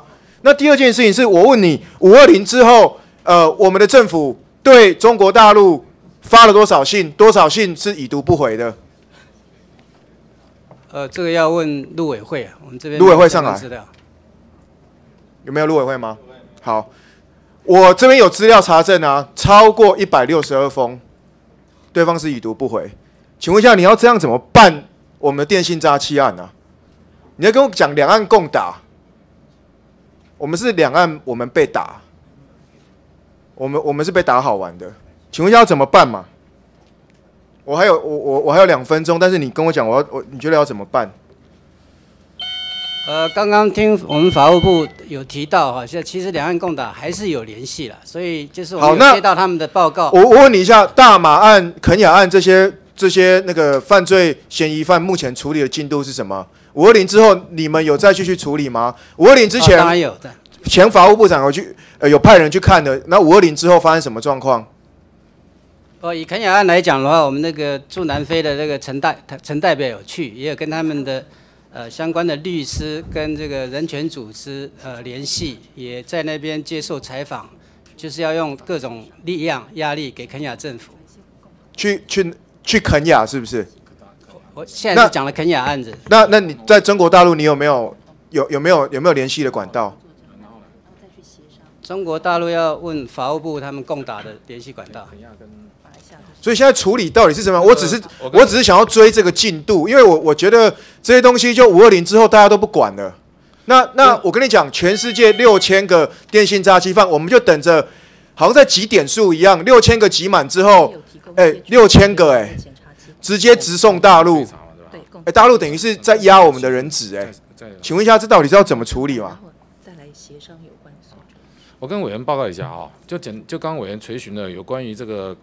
肯亚啊，跟这个马来西亚这个案子啊，我们跟这个本部啊，跟大陆啊，遇到这个共同打击犯罪协议啊，事实上我们还是一直在进行磋商啦，基本上已经达成一个协议，是说 先共同的追查，他也把一些相关的资料给了我们台湾地区台湾啊，然后自己税数的 税那个追税税追的追溯的部分，我们再继续协商。你你给我一个时间表好不好？你如果这些东西不能公开没有关系，你送到我的办公室来，我需要知道。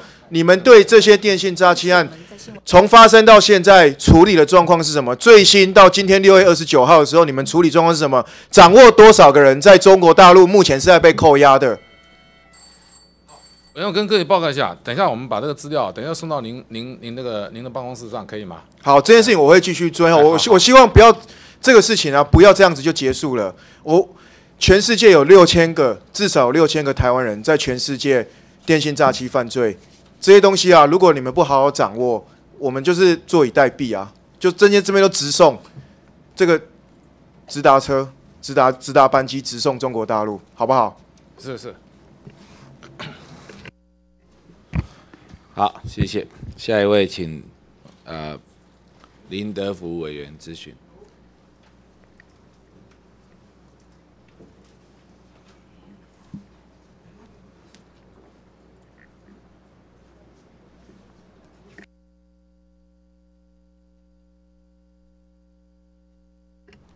主席，还有与会的各呃这个首长哈，以及次长，是不是请那个呃外交部李次长，还有华务部的邢次长，请李次长还有 邢次长备询。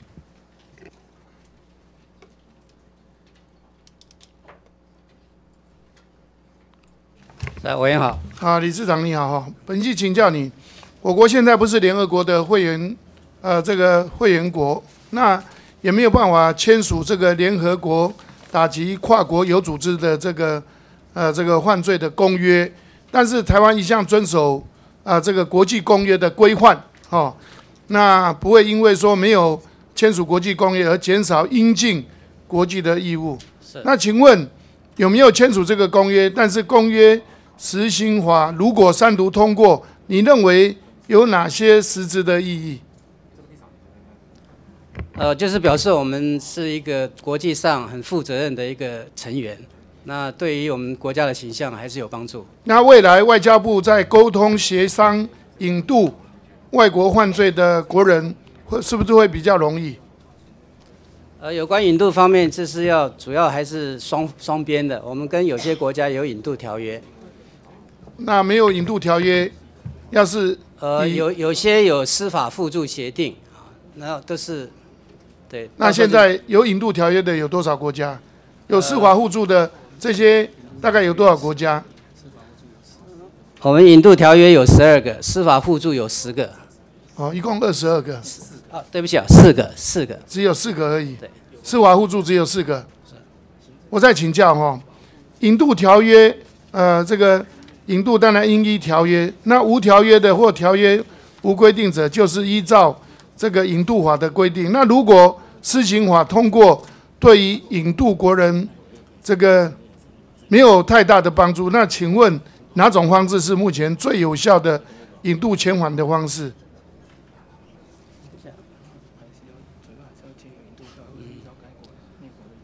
呃，主要还是经过这个双边的引渡条约了。如果有条约，当然是最好了。那没有的话，就是个案就要跟我们跟那个。当事国的的关系怎么样？那个哈，因为目前哈，当然对岸的国台办已经表态，两岸联系沟通机制已经停摆。那你认为中国会不会加强干扰政府对国人的这些引渡作业？会不会？部长，那次长，你认为会不会？会不会干扰？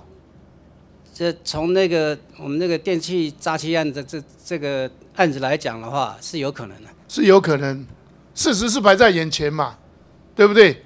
哦，因为你到现在为止，几乎所有的这个有电信诈欺案的，呃，几乎都是诈骗对岸的老百姓。那几乎哦，这个他们去要求的，几乎都是引这个直接到中国去哦。那这个最近涉及这个这些电信诈骗的这个遭拘留的国人，最后所涉案人士还是全部都都送到对岸嘛，对不对？那请问，对于九二共识、九二历史事实的看法，有其见的这个两岸官方，你认为目前的外交工作是不是会更加的这个艰难？会不会，市长？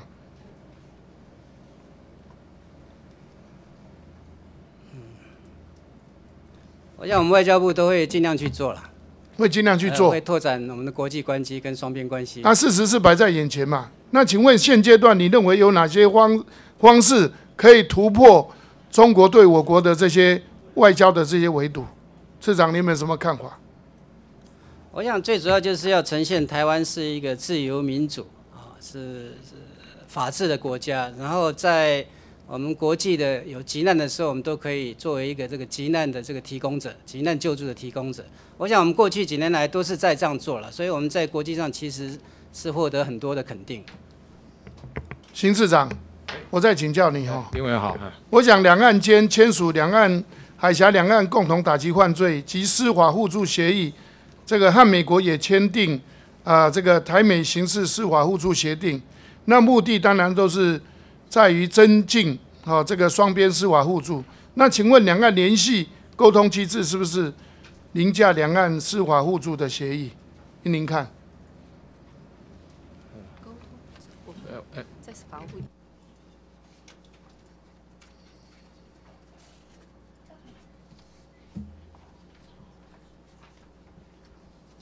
来跟委员报一下，我们当然都是依照这个两岸两岸共打这个司法互助协议啊来的架构下来进行啊这个共同打击犯罪的，哎，但是在肯雅电信诈欺案之后，两岸司法互助协议目前看起来是不是几乎都是失效的？依您看。我，们现在还是有还是有在进行啊，哎。有在进行。哎还是还蛮多的，哎，还还蛮多的，哎，看哪一方面的话，那个我们可以邢市长答复哎，因为这些涉及电信诈骗的这些国人哦，像被柬埔寨前往中国大陆，那法务部说希望陆方尽速研商合作侦办，以有效打击犯罪。那请问，两岸联系沟通机制目前断线，那两岸间是不是只剩下就是隔空喊话？依您看？没有，他们人送到大陆去。哎好，我跟委员报告一下，就刚刚委员垂询关于的柬埔寨这一部分啊，这个事实上我们依照两岸共同打击犯罪啊，这个我们法务部啊这部分做的，他们讲起来都很认真在做了啊，做的都相当不错，现在都还有在联系。比如说我刚刚跟委员报告过啊，我们这个这个公安部啊遣送的这个二十五名台籍啊，他马上啊在这个就有通过我们人身自由的拘束啦，而且把相当资料也都有送到我们这边来，哎。法务部当然是希望说能够协商呃这个合作来侦办。是那你认为政府要怎么做，中国才有可能有意愿？依您看，哪一方面的意愿？就是目前因为确实你几乎所有的这些诈骗案、诈骗犯都是送到中国嘛，人犯的遣人犯都是到中国去，中国去根本就要回来啊，几乎没有机会了嘛，对不对？到现在为止，从中国有没有一个回来？没有吧？哎，那个柬埔寨这个案子是不是？柬埔寨案子都没有了，先前也是啊，先前有的，对不对？除非呃，当当国直接嗯到我们这里来哦哎，那其他几乎都没有嘛。有有几个国家也有，土耳呃土土耳其其有啊，我知道啊，印尼也有，啊，那个是直接从他的国家过来，你到对岸去也不可能过再回来的嘛对。对对到现阶段都如此嘛，是是不是这样子？是哎，那个外交部发新闻稿说，对于柬埔寨政府将这些涉案国人处置表示不满哦，那并已指示驻胡志明市这些办事处向柬埔寨方面表达严正的关切与深切的遗憾。那请问，和中华民国没有邦交的柬埔寨，你认为有有什么理由哦会配合我们政府来引渡这些国人回台？他跟我们没有邦交啊，你认为他会配合我们吗？是跟委员报告，以以前的网列，我刚刚也跟呃其他委员有报告过，就从二零一一年开始，那在我们胡志明的这个积极努力下，其实有两百八十八位我们这个台籍的涉嫌犯是从柬埔寨直接遣返我们台湾的，那只是因为这一次是他第一次啊，第一次，因为主要是受到呃大陆啊很大的压力，所以第一次把我们二十五个涉案国人就遣送回大陆这样。那如果在未来这个邦交国要是发生类似的状况，你认为站在政府的立场，有没有把握能够抢得过中国？依依现在来看，我们都会积极的去这个交涉。那个次长，因为肯雅案、柬埔寨案，国人最后都被请到中国大陆，但是呃，这个五月底的土耳其案，这个调查后，大部分的人都是回台湾，那没有送到中国。那土耳其案现在还有剩十个可能涉及涉案明确的这些国人，请问法务部是不是有掌握这个这些进度？那未来要怎么去处理？委员是垂询士官土耳其跟土耳其哦后面还有十位，对，啊，土耳其啊，那个还是外交部在交涉。哦，这那这个哎，是啊，这可能是外，哎，我跟委员报告，这个外交外交部要在交涉，能不能请外交部次长来做个说明好不好？现在外交部情况是还在审理当中。哦，因为那个土耳其还在审查这个案子当中哈，所以我们也积极的在密切跟未来是未知数。我们希望当然希望能够遣返台湾了，比照上一次的例子办理。哦，我认为说，当然，呃，这个诈欺犯，我认为说本来就应该要绳之于法。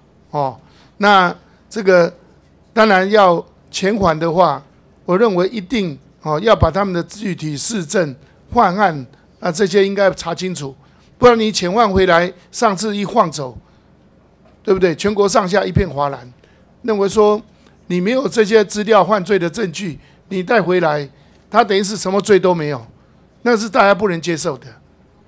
哦，谢谢。好，谢谢。好，谢谢。下一位，我们请呃顾立雄委员咨询。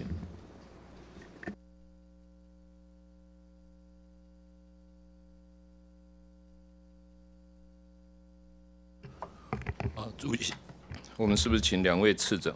啊，两位次长请备询。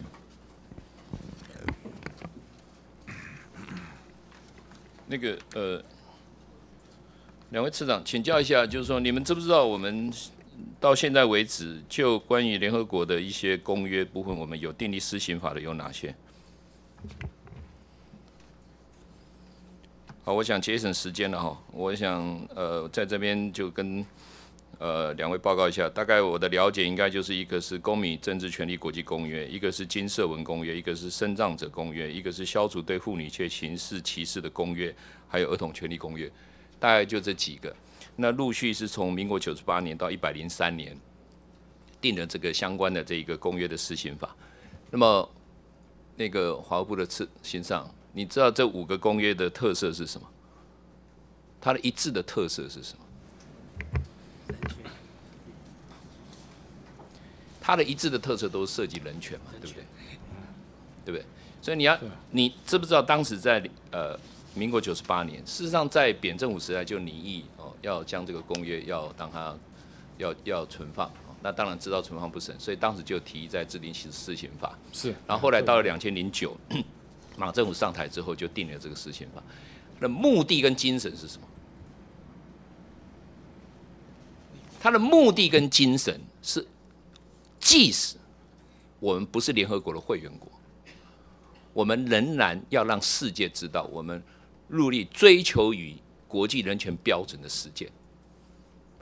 我们虽然不能够成为这个公约的一个被合法联合国接受的一个存放的一个国家，我们不是联合国的会员国，但我们仍然要向全世界昭告说，我们愿意遵循这个国际的人权的标准。所以这五个公约的施行法都是基于这样的一个标准啊。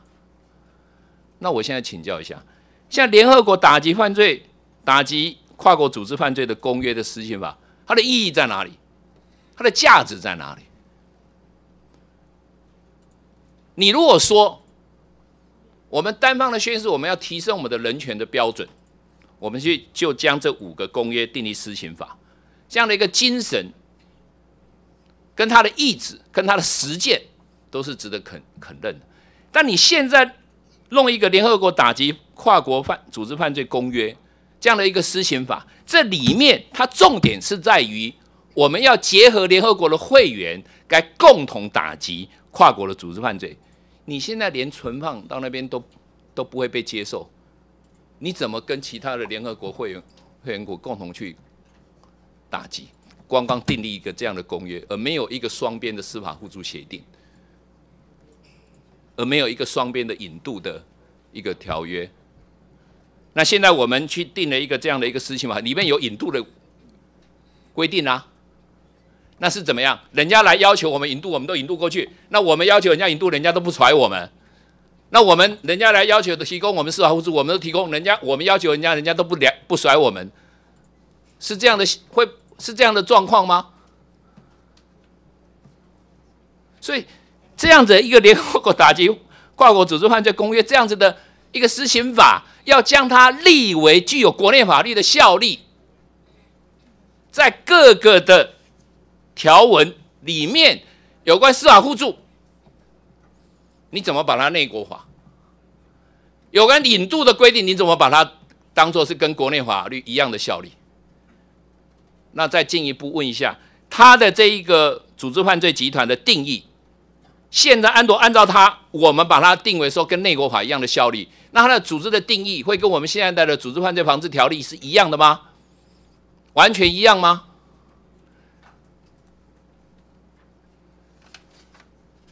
他还有一个法人责任，在他的第十条啊，所以你们现在说你们要把它送到行政院，行政院要送到立法院，我们就要审议这个公约，我们要怎么审议？假设你们审视的结果是说，跟国内相关其他的国内法都没有任何汉格之处。纵使是如此了，那我们就把国内的法律的标准就定到跟联合国打击跨国犯罪、组织犯罪的这样子的一个水平，然后我们再透过双边的协定订定司法互助。那你弄了一个公约，我们我们要把它批准，没有人鸟你嘛？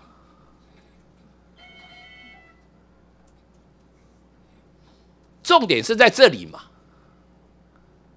就没有人会理你，因为你不是一个联合国的会员国，你甚至在主权的意义上，你在联合国被是被定义成是中华人民共和国的一部分，所以怎么可能有任何的意义价值去订立一个所谓事情嘛？也更没有任何意义或价值，我认为去讨论说我们要去。批准这样子的联合国打击跨国组织犯罪公约。那我们现在也陆续，华部也知道嘛，我们陆续在，你们现在也要送洗钱防治法，那我们也定了资恐防治法，对不对？那你组织犯罪防治条例，你假设要透过刑事警察局提供这些情资给各个国家，本来就是陆续应该可以透过做得到，进一步。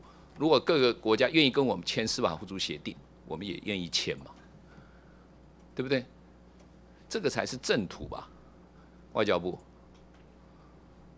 市长，加入批准存放这些公这个公约有意义吗？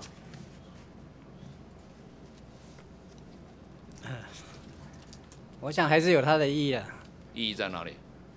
对，就是凸显我们台湾愿意跟国际的这个接轨，跟那个国际呃共打犯罪来接轨的。那你批准了之后，如何跟其他的国家接轨？单单单通过这一个，单单通过这个事情完，或单单批准了这个公约，如何跟其他的国家共同打击犯罪？我现在讲单单这样子，批准了这个公约，如何如何？你说你你批准了，所以呢，我我就世界各国都跟我们有了引渡的协定了，世界各国都跟我们有司法互助协定了吗？那我刚刚也报告过了哈，我们跟十个国家有引渡条约，跟四个国家有那个那个司法互助协定。我想我们可以就从这十四个国家这个那没有没有批准这个公约，我们跟这十几个国家的司法互助协定有影响吗？那如果我们批准了，我们跟其他国家的司法互助协定就因此可能可以马上增加吗？也不要说马上了，在你可见的将来可以因此而增加吗？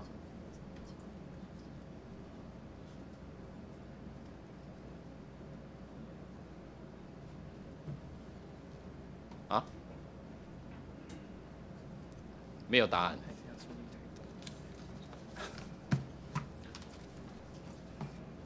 所以我是希望了哦，我们着重在我们原来的就相关的人权公约施行法这样订立的一个本质，我们来推动还有更更多的人权公约的施行法。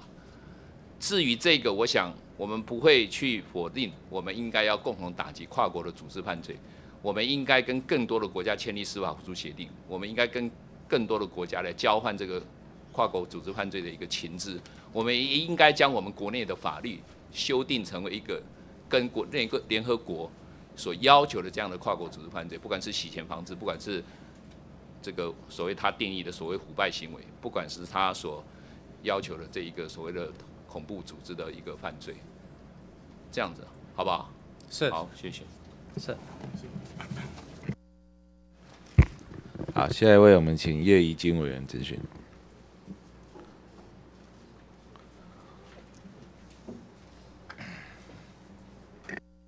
一样，请两位次长。两位次长，请备询。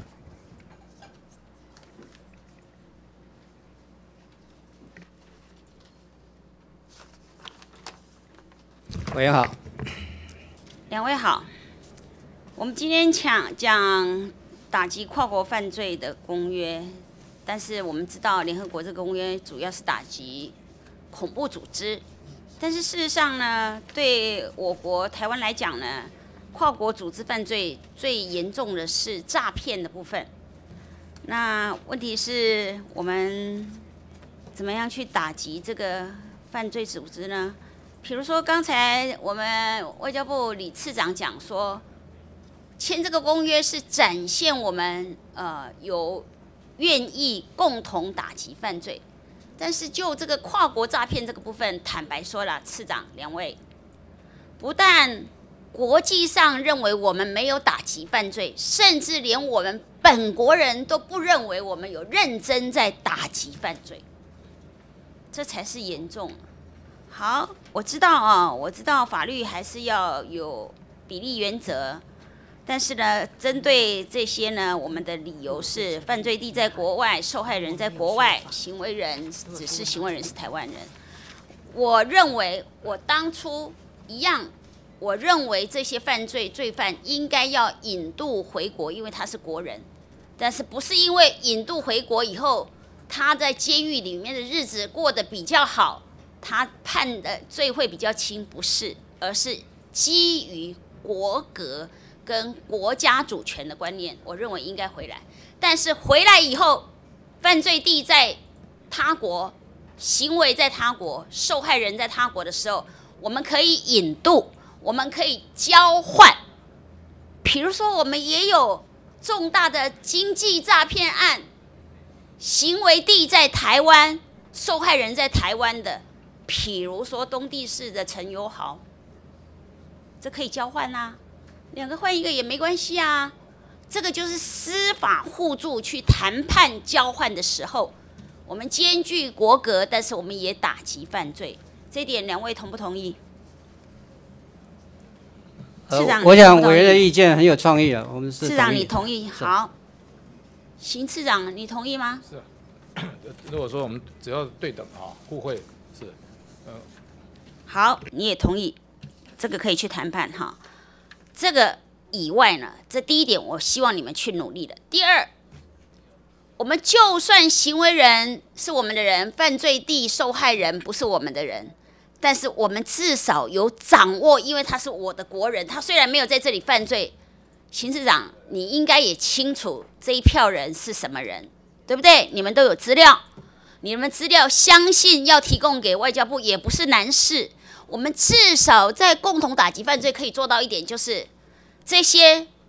歹徒要出国前往某一个国家的时候，我们告知这些国家，这点做得到吧？这点做得到到吧，李次长？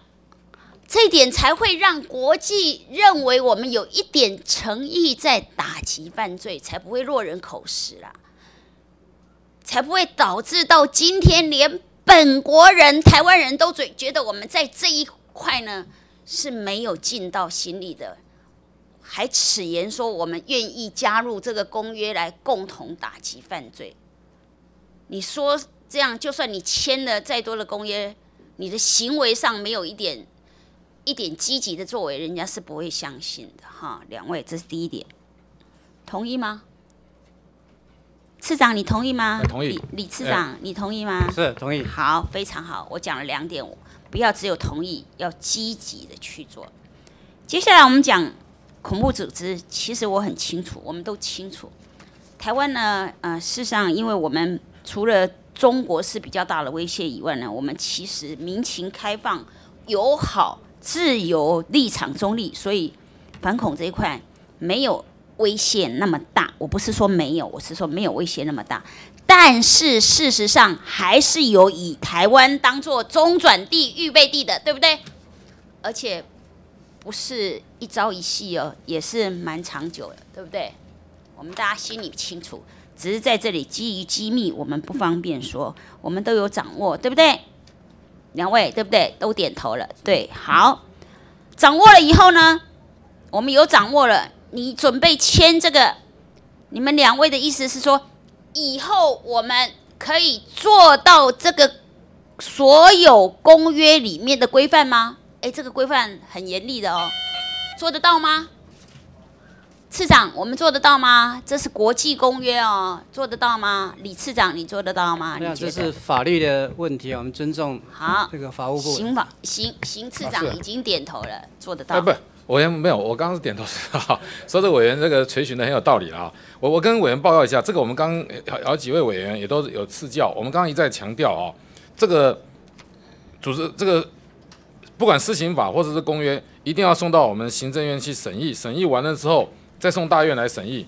所以说还要经过我们行政院来审议。不要把责任推给行政院跟立法院。这些这些要你们做得到，我们通过才才是真的要去做了。哎，不是只有通过好看而已。对啦，因为你不要想那种心态，反正现在联合国我们也不是会员国，我们也没被承认，我们签了只是宣誓性的，有没有做到，没有人会去真正的 care 或真正的去考核，不要有这种心态。我们签了就表示我们真的要做得到，可是我们真的做得到吗？这是我的疑问哦。啊，你就不敢点头了？你看，现在你不敢点头。所以不要拿这个来糊弄我们，更不要讲说平等互惠。好，我们再来讲平等互惠这个部分。我们很多委员都讲了，这个公约我们要平等互惠，要双边的。可是我们怎么平等互惠？我们没有任何的合作协议，除了那些以外，我们就算。真的想要去做，其实有很多，这一点很重要，对台湾非常非常重要。比如说，其实对我国有损害，但是对他国是有利的。我再讲白一点，叫做商业机密的窃盗，这也是跨国的啊，这也是要打击跨国犯罪啊。可是你确定这个你可以去执行吗？我们没有真正的合作协议，其实都靠默契在处理。默契，我们不要说有灰色模糊地带。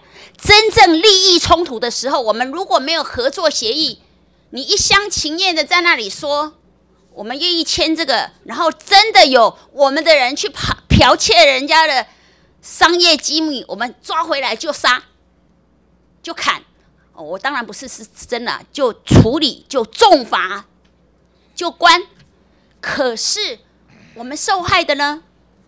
你知道台湾有多少高科技产业或多少商业机密，因为我们是国际孤儿而投诉无门，甚至于觉得没有受到国家的保护的这个部分呢？所以你们此言签这个公约，其实我觉得意义不大，真的。好，我们时间到了哈。值得大家思考一下哈。我们今天时间有限哈，不要只有我们自己一厢情愿。我们希望我们真的能够好好的去想，我们怎么样真的成为国际的一份子，以后不是只有尽义务，我们也希望得到平等的尊重。好，谢谢。下一位，我们请徐志荣委员咨询。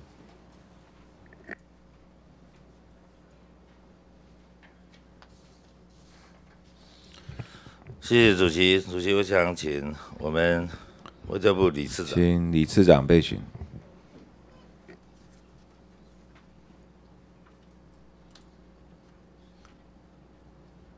市长好，委员好。市长，我们换换口味哈。我们小英总统参访巴拿马的时候，我们他在留言部写下 “President of Taiwan” 巴普 ROC。我们的国民是什么？我们不需要在这边问了哈。依据我们的宪法，中华民国的国民选出来的总统，当然就是中华民国的总统。市长，中华民国总统就这六个字，英文是怎么办？怎么英文是怎么讲？呃、p r e s i d e n t of the Republic of China。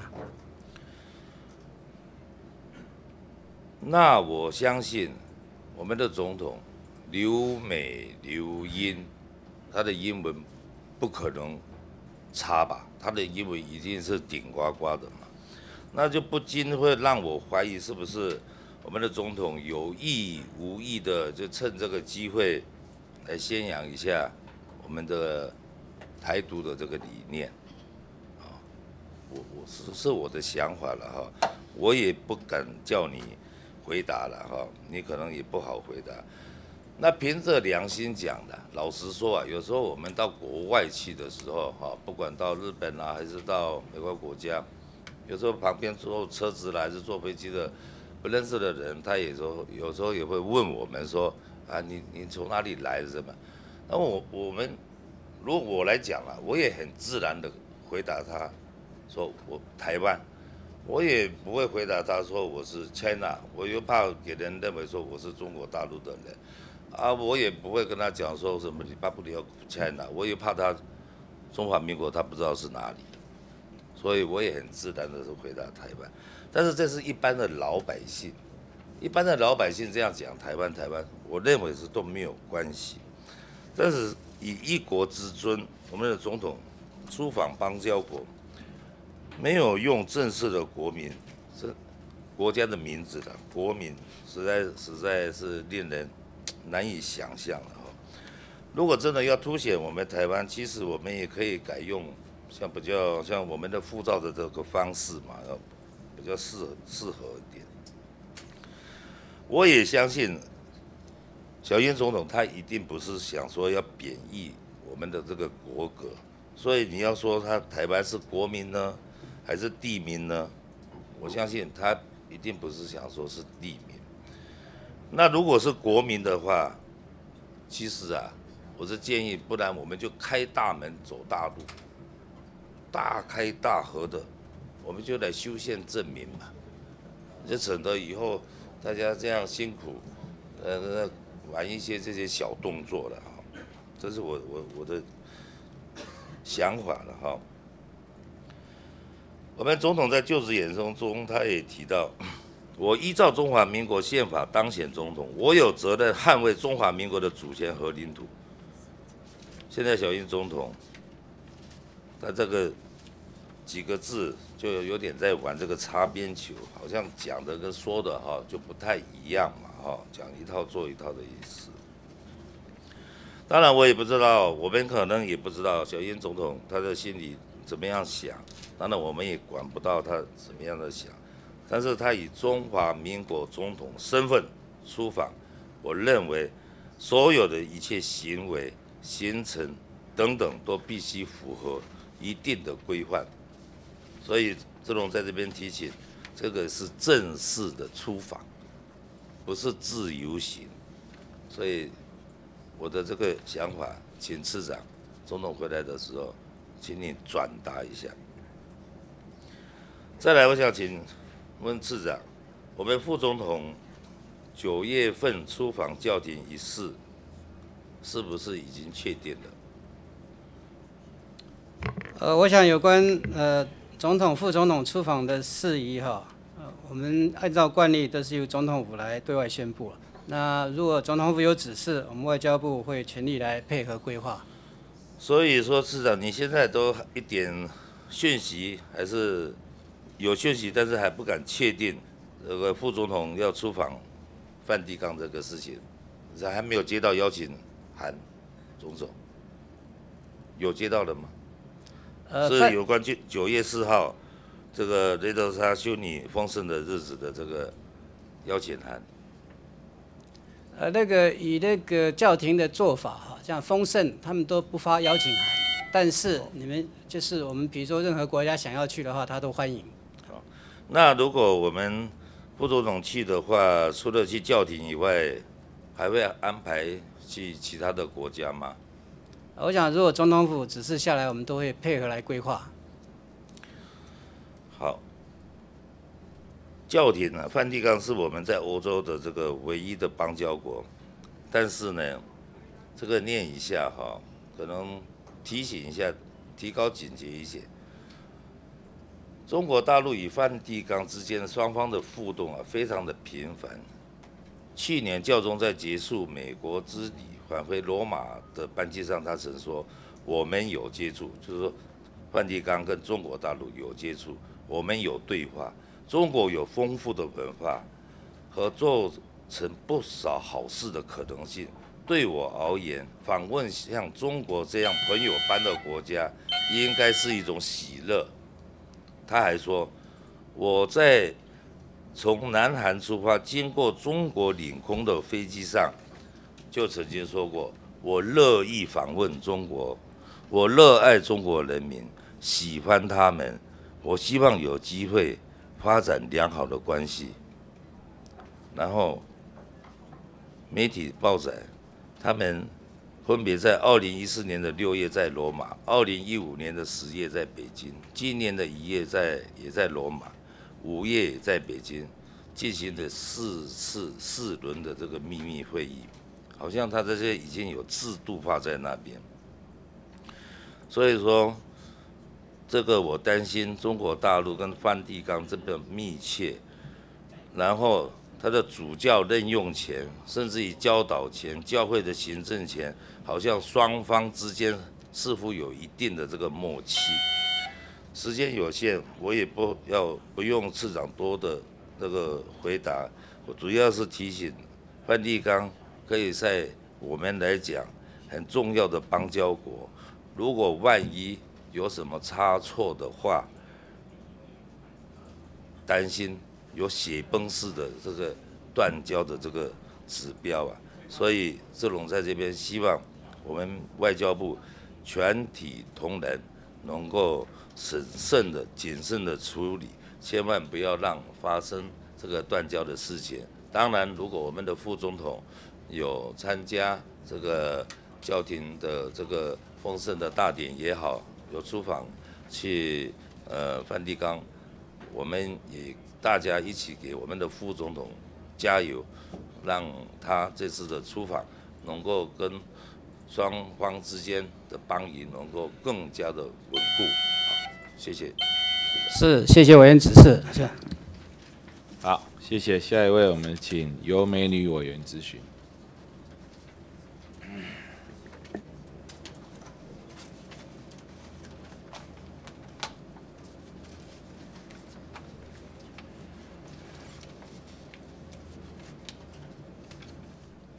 呃，主席，还有我们在场的委员以及所有列席的政府官员，大家早安，大家好。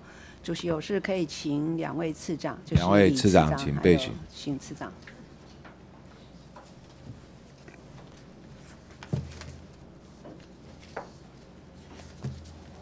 委员好。啊、两位次长好哈。委员好。嗯、其实原来就是要定施行法的话，应该是先公约批准存放之后再去定施行法。那如果公约已经存放，其实是不需要去定施行法，因为它就具有内国法的效力嘛。那只是因为我们国家的关系，说我没有办法存放，所以那时候还没有定这个所谓的国我国的这个条约缔结法之前，才会去定施行法。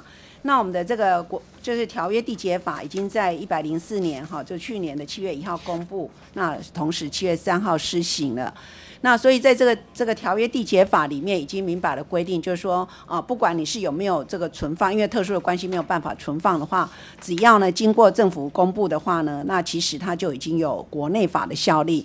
所以呢，在这种情形之下，还没有必要去定这样的一个施行法？当然，我们知道说前面我们定了这几个几个公约，其实从这个啊、这个两公约，好，那到 C 的公约，那到后来的这个身障公约，还有这个呃儿童权儿童这个权利公约，那后面的身障公约跟儿童权利公约，我们看到就是没有缔结。没有缔结啊，也没有这个签署批准，然后就直接先定施行法。那把这整个顺序乱掉了之后，我们现在好像就变成惯例这样在做。我觉得这个有问题吧？我们先请我们的次长李李次长，就是在依照国际法的惯例，应该是怎么样？呃，一般当然当然就是刚刚委员讲的，就先审公约嘛。如果公约通过的话，它就有国内的那个效呃法律的效果。那他就是因为以前没有这个我们的条约缔结法，所以呢，我们才需要去定一个施行法来处理嘛，对不对？对那现在变成是说，我们连公约都还没有审议，也还没有存放，这些程序都还没有走，就跑跑来弄一个施行法，那这是不是很奇怪？我们的这个邢次长，您的看法呢？呃，所以我们在给这个呃立法院的报告里面哦，我们是希望先哦来进行这个呃公约的审议啊啊。所以，所以我们还是应该把那个顺序倒过来嘛，对不对？是还是应该先公约的审议。那如果说好，今天公约已经审议完，依照我们的这个条这个条约的缔结法的规定的话，它就具有国内法的效力。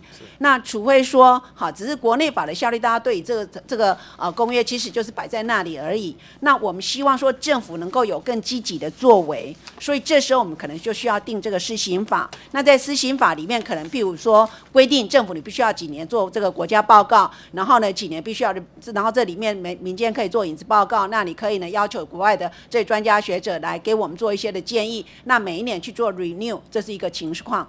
那这在人权公约是有这样的一个必要，因为我们必须要把这人权公约的这样的内容在国内去施行。那现在对于这所谓的我们这个啊打击犯罪的这个跨国哈，这个有组织犯罪的这个打击跨国有组织犯罪的这样一个公约，它的内容其实我们看的它的最主要的就是说，对于这些所谓的洗钱啊、反贪腐啊，然后毒品犯、经济犯罪等等这些，它重点其实是在于这这跨国之间的司法协助、引渡，还有执法的合作跟技术的援助。跟以及人才的培训，所以它其实在强调是跨国之间的这些的合作、技术的资源、技术的情，还有情资的交换，以及互相的引渡、司法的互助等等。所以它的重点其实不是在国内，而是在于跨国之间。那因为我们不是联合国的会会员国，如果说我们是联合国的会员国，我们今天签署了这个公约，我们就当然可以跟所有的会员国已经签署这个公约的国家，当然就可以有这样的一个司法互助，有这情资的交换，那有这个所谓的啊这些的啊技术的援助，还有这人才的培训等等。可是因为我们不是会员国，所以今天我们说好，我今天宣誓对国际的这样的一个履行这样公约的一个一个意愿，然后一个决心，那也愿意跟国际接轨。可是事实上，它并不会达到这样的一个目的，所以仍然需要仰赖我们跟联合国的这些的国家个别的去签订这这种所谓的双边的司法的互助的协定，那里面去包括这些情资的交换，包括这些啊技术的培培训、技术的这个资源等等。所以这里面呢，如果施行法要定的话，其实应该是课政府以义务，就是我们这公约通过之后，政府应该在几年内，或者说应该怎么样去跟所有的这些的会员国去签订这些的司法协助，然后呢，技那个啊技术的援助，还有人才的培训等等，应该重点是要放在这里。所以在这里呢，从今天我们所所定的这个啊施行法里面呢，好像看不出这样的一个层次的东西。我不晓得这个啊两位次长的看法。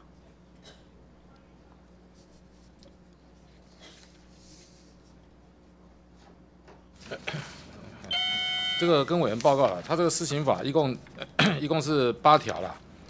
那这里面从就是刚刚委员所提示的说啊，要可以政府啊这个义务，就所谓的义务，跟他们签订一些交流嘛，哈，这个一些这个一些协定啊。从这里面看起来啊，大概这个七条啊，呃，那是一个报告啊，就是固定要做报告嘛，哎是，对不对？这这就是我们刚刚所讲做国家报告。哎，第那个，在我们第第七条，哎，第七条有一个定期的报告了。那其他的部分哦，大概是宣示性的还是比较多一点的，哈。所以这个部分呢，当然我们会看到的，就是说这样的一个施行法，其实是跟以前我们其他的五个公约的那个施行法是非常类似的。因为我们那时候最主要的目的，就是其他的公约的那个目目目的是因为我们的这个所谓的条约缔结法还没有通过，所以是要让它发生内国法的效力。然后呢，当然也课政府义务，你必须要去做报告，然后你要让人权在国内去施行。那跟这个公约，这是跨国的打国，这个国际的这个打击犯罪的这个公约呢，其实性质是有所不同的。所以我并不反对去定施行法，但是那个程序应该要照本来了，对不对？所以你们应该尽快的把这个，如果说我们要宣誓有这样的一个决心，要跟国际接轨，所以你们应该先把那个公约送进来审议。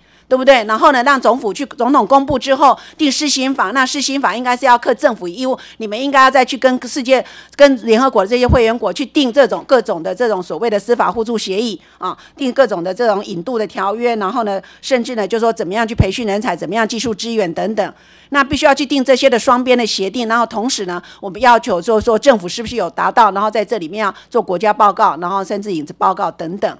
我想应该是要有这样的一个层次过来，那个施行法才会有用。因为我们不希望是说定了一堆的法，然后一堆的公约，然后全部都有国内法效力，然后全部摆在那里，那没有用。因为我们觉得说我们并不需要靠一些档案的东西去对各国宣示说我们有跟国际接轨的一个决心嘛，是不是？所以这个部分是不是能够请？好，当然我会跟主席建议啊，就是说今天这样的一个法是不是能够暂缓审议，然后请着这个政府单位先把那个啊，就是公约呢先送进来审议，然后也把你们这个完整，就像我们刚刚所讲的施行法真的有它的实质内涵的施行法的草案送进来，那我们再一并来审议，是不是可以这样？啊，那是是不是你们可以尽快的把这个东西做送进来？呃，是我们很赞成啊，我们的看法，是是。做到多久可以送进来？今天就送是不是？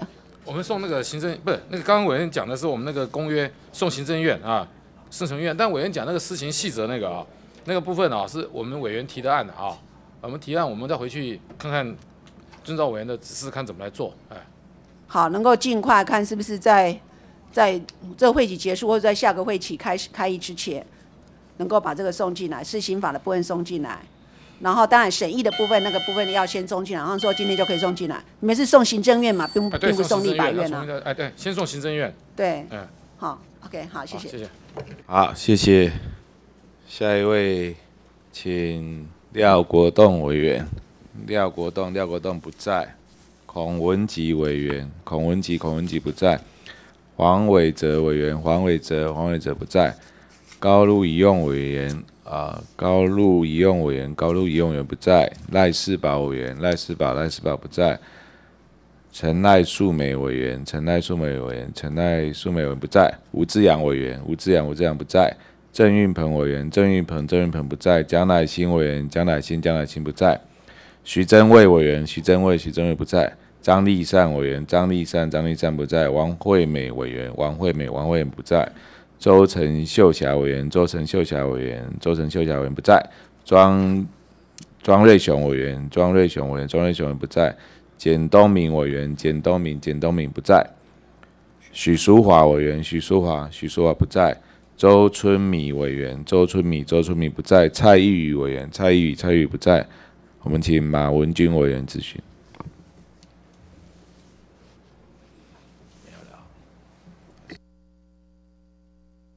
呃，谢谢主席，麻烦请外交部次长。呃，外交部次长，请备询。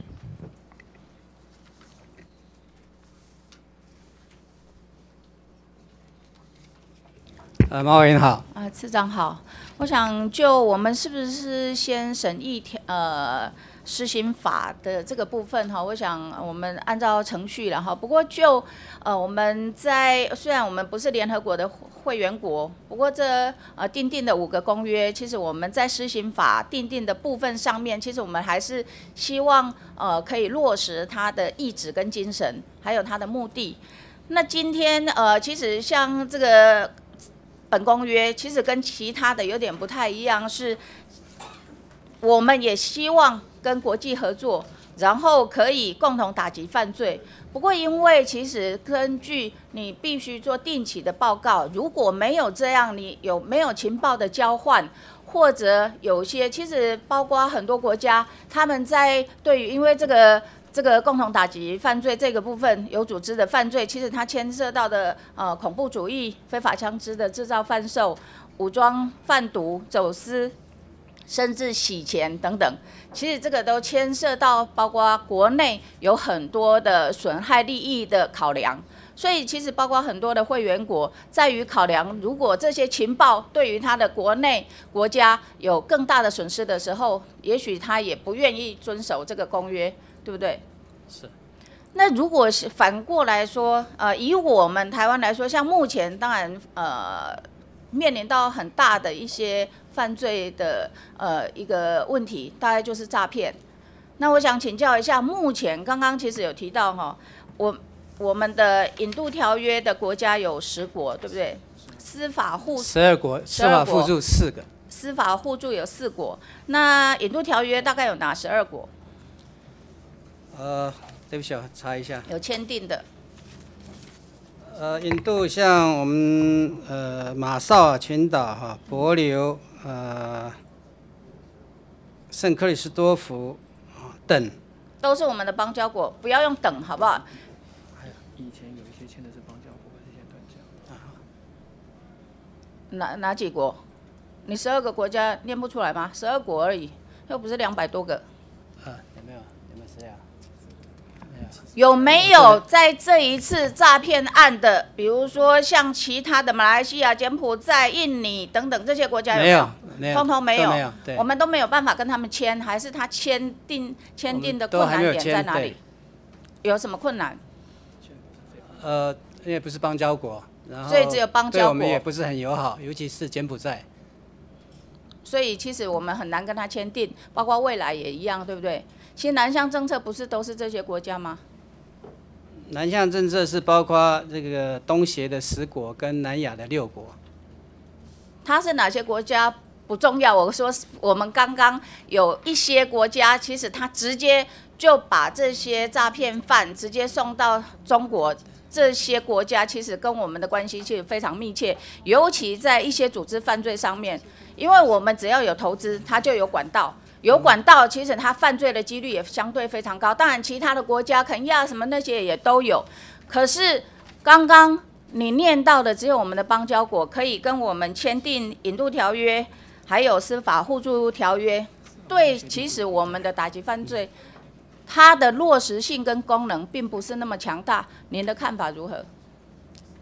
我刚刚跟委员报告了，你像我，我现在在。重复一下，就像以司法互助来讲，我们跟一些无邦交国也是有签了，比如说是越南啊，比如说是南非啊。那我们跟德国啊、英国也有签署一个叫做移交受刑人的协议啊，我们都积极在努力。司法互助有嘛？我知道大家很努力，可是你的困难点必须要把它彻底解决。那你执行任何的那个方向才有意义。刚刚我听到说我们的回答哈，刚刚啊有委员有委员有提到，目前其实包括我们那些诈骗犯，现在送到中国大陆以后，我们完全没有对口。现在两岸的关系非常的冷却，所以目前已读不回的，据说高达一百六十几封，不管他有几封。可是现在刚刚你回说，如果以目前的进度跟状况，是要问陆委会是不是？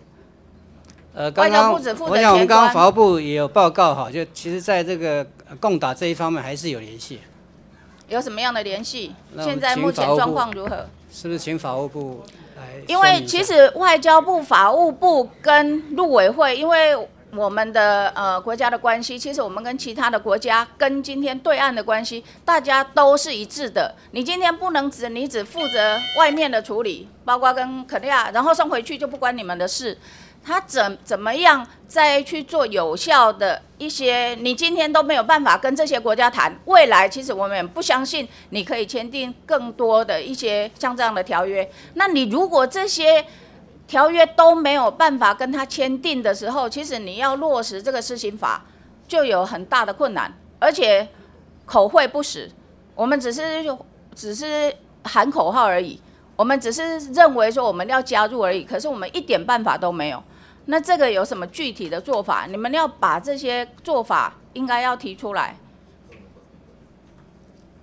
呃，是跟委员报告，其实行政院有一个平台哈，就是有法务部啊、陆委会、外交部啊，都呃都有在开这个协调会议，就这个议题来做一个演绎，这样。目前是完全没有用嘛？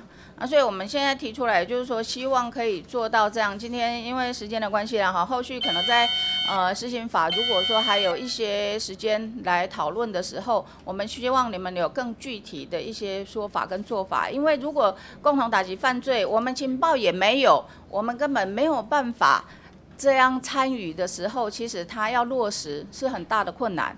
今天包括我们的国家的定位。自己的元首如果都不够清楚，其实我相信我们外交踏出去也是会有很多相对的困难。在这里，接下来因为今天刚好呃外交部海巡署都在哈，我想再请教一下外交部，目前因为我们呃在刚办完一个呃外交与商务人员企业参访团的这个活动，反应是非常顺利圆满，对不对？是那个，其中我们在宣传的五大创新产业里面有绿能科技、亚洲系股、生技医疗、国防航太跟智慧机械。我想请教一下，国防航太主要的呃参观或者我们宣誓的一些内容是什么？国防航太就是我们政府一向就是 呃希望说我们那个呃，我们这一次活动的内容啊，应该应该很明确，已经办完了。他到底办了什么？针对国国防，跟委员报告，因为这个案子其实是经济部主导的，一些细节我们并没有，所以外交部都不知道，可是是外交部发的新闻啊，所以我们经济部主导，然后我们也配合办这样的活动，可是我们对内容完全不知道。今天我们这五大主轴，未来也都是政府的政策方向。我简单来说好了，因为你航太工业很重要的，因为你现在一直政府一直在宣示国际国造。国际国造很重要的一个呃企业，其实就是汉翔嘛。汉翔目前已经要为印度，因为印度也是我们的重点的新南向政策的一个国家，就印尼跟印度嘛。汉翔现在要为呃印度来修那个飞机，我们我们知不知道？我们有没有掌握这样的讯息？没有了。还要帮印度维修战斗机啊！印度有一款名叫加瓜的那个战斗机，教练机啦，要延寿。这个讯息外交部有吗？教练机是有，对，我们知道。什么？就延寿？有什么？延？你说这个教练机延寿的，我说的是印度的教练机的延寿，是现在透过美国。汉翔可以拿到这个维修的这个呃机会，然后他们可能可以从事这样维修的能量。这个牵涉到我们航太业的发展，因为你今天如果对这些都不知道，我们只是图就是光是办一些表面上的活动，然后说我们的政府新南向政策，印度是我们的重要的一个呃发展的一个国家，然后我们却没有掌握任何的资讯，我觉得。外交部还要加把劲啊！这个部分外交部不是主办单位啊，也不是主管主管的。市长，你不要再说外交部不是主办单位，这个新闻是外交部发出来的。我今天是特别提到说，如果新南向政策是我们的重点外交政策，没有理由什么都不知道。今天在后面后端的时候说要问陆委会，今天你办这个这个记者办这个活动。写的说我们办的非常圆满、成功、顺利。你说这个是经济部的，先掌握状况。汉翔是我们的重点发展的企业，你在航太要发展，你就应该要注意它有什么样的能量，你才能够推销给人家啊，不然你要怎么跟他跟人家说他好？所以不要说你们什么都不知道。今天如果是这样，那今就不用外交部来报告啊。我们希望后续还有时间讨论，好不好意思耽误一些时间，谢谢。谢谢委员指教。好，谢谢。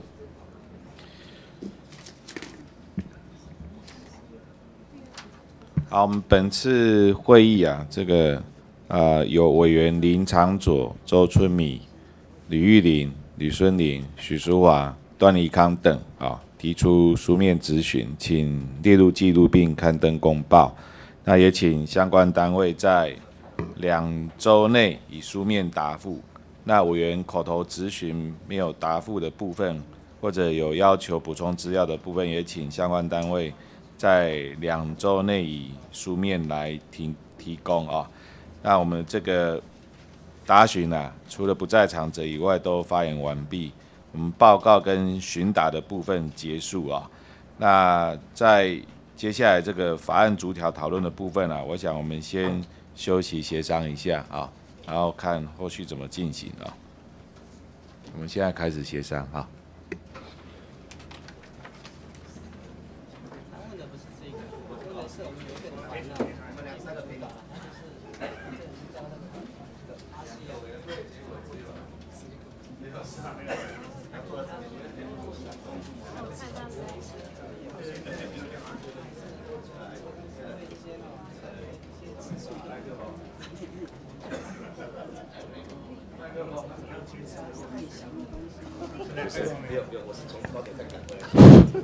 好，那个这样，因为这个哎，今天还有另外案的提案人庄庄委员，庄委员有没有有没有意见啊？好，是这样，就是说今天我们是有两个提案啊，这两个提案因为它涉及到国际公约啦，那这个公约刚才法务部他们的我们法务部的代表还有外交部的代表能不能过来一下吧？啊。要我们要听你们两两个部会的意见啊，主管部会的意见。好，我想就是说，基本上这个行政跟立法是两个程序啦啊，然后它是国际公约没有错。那国际公约，我们先不论说我们是不是这个联合国的会员，而是说这个公约要变成国内法的部分的话，它一定要经过立法院。但是在立法院之前，你必须是行政院送到立法院，所以你现在这个公约其实也还没有送到行政院嘛，所以行政院的用会啊也没有通过，所以也没有办法送到立法院来。那当然，在立法程序上面，立法院是有权可以去定相关的国内法，不管它是不是叫什么什么执行法了哈。立法院本来就有这个权责啊，那只是我们也希望说，这整个法定了之后的执行，它能够一致。所以这部分我们还是会尊重跟听一下我们行政部门的意见，好，所以今天虽然说有委员提出这个这个公约的呃施行法出来，好，我们要来讨论，要让它通过，在立法程序上面是可行的，是做得到的啊，但是立法之后会涉及到行政部门的执行，所以这部分我们还是想要尊重跟听我们行政部门。在这个阶段上面，你们希望怎么样来做啊？那我们在立法部门，我们看怎么样能够让这个立法程序啊，能够更完备跟更完善的啊。但是打击这个跨国犯罪的这部分，我想这部分的决心我们是支持的啊，我们也希望可以展现啊。那我先做这样子的一个背景说明，那我们希望等一下行政部门跟各位委员表达一下意见，好吧？呃，谢谢主席哈。现在就说第一个，这个公约连到行政院都还没有，那我们这边定公约公约的施行法哈，事实上会有一些竞合上的问题，这第一点。第二个，我们打击国际犯罪以现有的法律，我们早上的询答就听得出来，实际上现有的法律是可以去执行的。所以我是不是建议这个赵委，因为这个法跟以往的人权公约不太一样，因为这是跨国组织犯罪的。那这个一旦定下去之后，我们会被约束住，可是事实上我们的公约在国际上可能会有一些问题，所以我是不是建议招委说，我们先把这两个案子暂时先停止来审查，好，等行政部门的公约跑到一个程度，我们再来看是不是要定这个东西，可能会比较适合，否则定下去可能会产生一些危险。啊，这我的建议啊，就是说我们今天先讨论到这个程度就好了，暂停审查，那看行政部门意见怎么样。哎，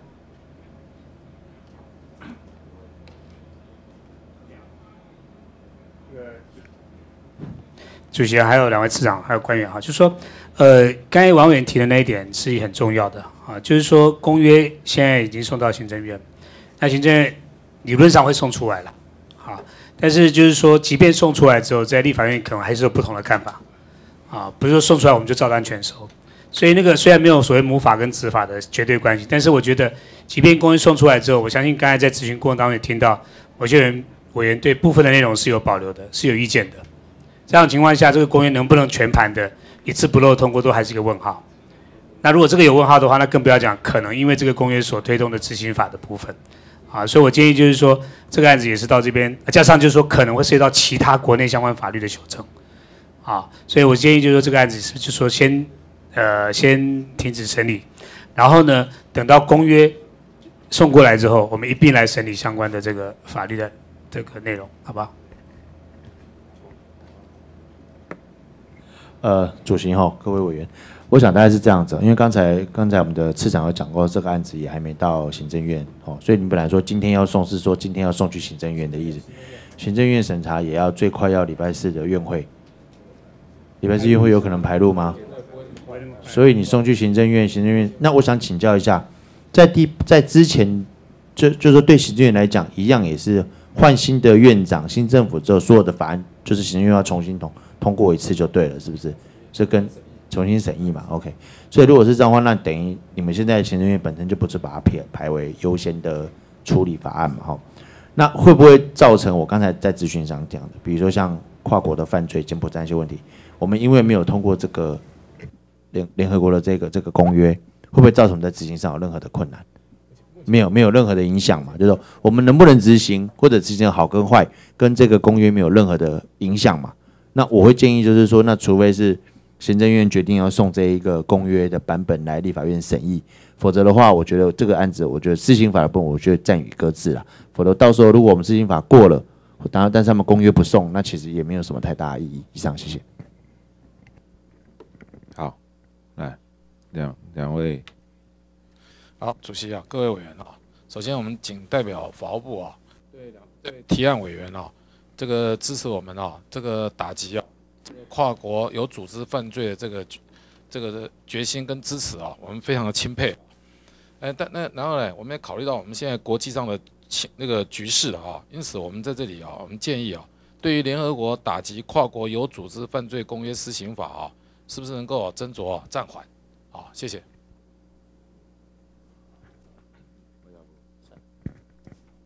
呃，主席、各位委员哈，谢谢各位委员刚刚的指教哈。我想我们外交部基本的立场就是尊重我们主主管主管的部会啊，就是法务部的意见了。所以我也是同意法务法法务部的意见。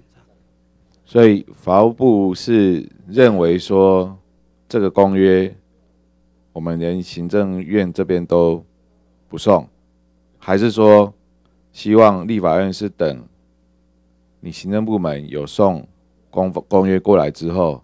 我们再重新启动这一个这一个立法。刚刚主席跟委员报告一下哈。因为因为这个是一个包括态度宣誓的问题嘛，就是如果你你连这个公约都不送行政院，就表示法务部其实对这个公约是，哎觉得不重视啦，或者是说根本不 care 啦啊。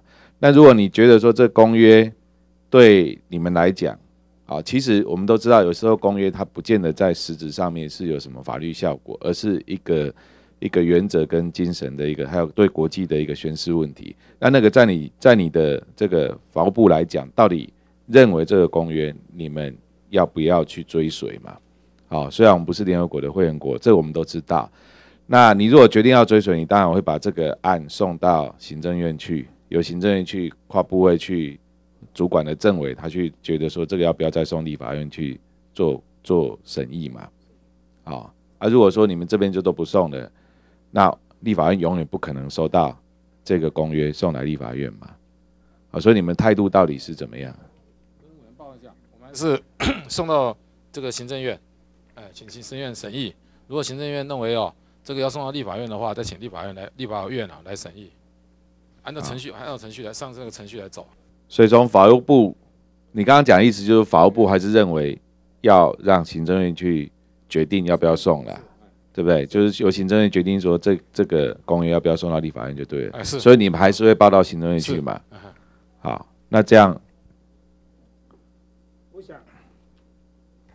这个这个公约事实上是上个会期上一届了啊，对，有送过。那不可否认，就是说那是上一届政府的基本的立场，不能做宣示性或支持性。那现在换了一个新的政府之后，法务部要送，当然法务基于权的他要送。那我想交给新的政府、新的行政院去决定，这是不是成为他的优先的法案。如果要送，就会送过来，我们就审；如果不送过来，我们再来讨论说，到底那个施行法要不要处理嘛？这样会比较好，好吧？那这样的话，当然，如果是这样的话，我们今天显然我们就没办法去审施行法的这个细部内容了哈，因为你的公约也都还没有到立法院，也没有到到行政院了啊。那但是就是说，我们是要无限期的 pending，还是说，还是说你们哪时候会送到行政院，然后行政院会有一个决定？这个要要不要稍微有一个？因为因为法务部的态度很清楚嘛，哈，他要把公约送到行政院。对对对，行政院态度我们不清楚嘛。对，所以这个不是无限制、无限期的 pending，我是建议说，因为我们这个实行法一定是他公约过来，看他长成什么样子，而且不见得我们都会买单嘛。嗯，再来讨论实行法，所以我们是就暂缓审议，等行政院把公约送过来，嗯，我们再决定，我们还是有自主权的。好，好，那这样我们议事人可不可以拟拟一下那个？哎呀，就这期再审，好吧？好，主席，我是觉得这样子，因为其实大家都同意哦。我我想这样子，因为其实这个公约里面，其实关键就是缔约国的权利跟义务是什么东西，然后，那其实我我那我昨天我把它稍微看了一下，我我会觉得其实有一些内容，缔约国他愿不愿意成为缔约国，其实他有一些保留的余地了，因为我看有一些国家。他基本上是申请声明保留，他缔约，但是他保留，所以我觉得那个缔约的时候，可能很多国家认为他的司法的某种主权让渡了这个这个条约里面去了哈，所以我认为说，呃，法务部在送给这个行政院的时候，其实你们也要附上你们的利弊得失的看法啦，哦，我觉得这是关键的哈。那行政院会做一个审议嘛？那行政院做个审议，不论是过了送给立法院，或者审议没过，我认为都还是要一个文给我们。那因为我们现在这个案子有有这个文在这边嘛，所以如果那我是觉得说能不能还是我是压一个时间呐，因为不能你说啊，虽然它不是优先法案，那不能压压四年都不审，我觉得有点夸张了。那我会建议就一年的时间呐，好不好？就是一年内，就是请请请这个呃，我们做个决议嘛，就是请到时候回复给我们说这个要不要送立法院审议，或者我就直接行政院就把它否决掉了。那我问给我们，我们就知道后续怎么处理，是不是这样会比较好一点？啊，各位的看法？我觉我觉得保留弹性了哈，就是简单就是择期再审就好，也不用定一个时间了，好不好？原则上，行政院赶快处理了，那我们是择期来处理了。就立法院这边，我们再择期来来处理这个案。但是我们希望行政院可以赶快就那个公约，呃，它的从国家立场去分析嘛，然后你送行政院之后，请行政院赶快做一个决定了，好不好？好，因为毕竟你说这个公约，当然公约你签署的话，每个国家都有它自己本身要你合作，一定会有需要让渡的地方。但毕竟它一百九十几个国家都签署了嘛，也是很多啦，所以也不能说这个公约没有它的重要性啊。啊，就就打击这个跨国犯罪的话，其实它还是有它的重要性的，好不？好，那那好。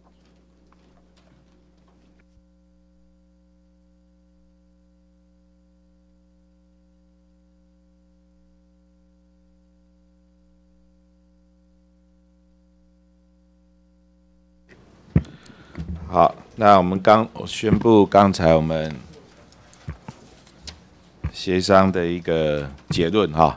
呃，第一点就是关于这个今天我们所审查的这个呃联合国打击跨国有组织犯罪公约的这呃施行法的呃两个提案啊，呃，我们先今天啊先暂停审查哈，然后另外择期再审。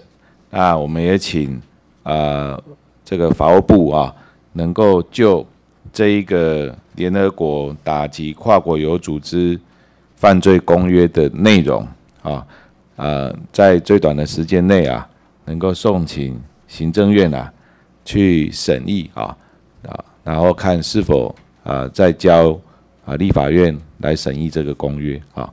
那我们今天的会议啊，就先到这边啊啊，做一个结束啊啊，另外我们再找时间再来审查啊，谢谢。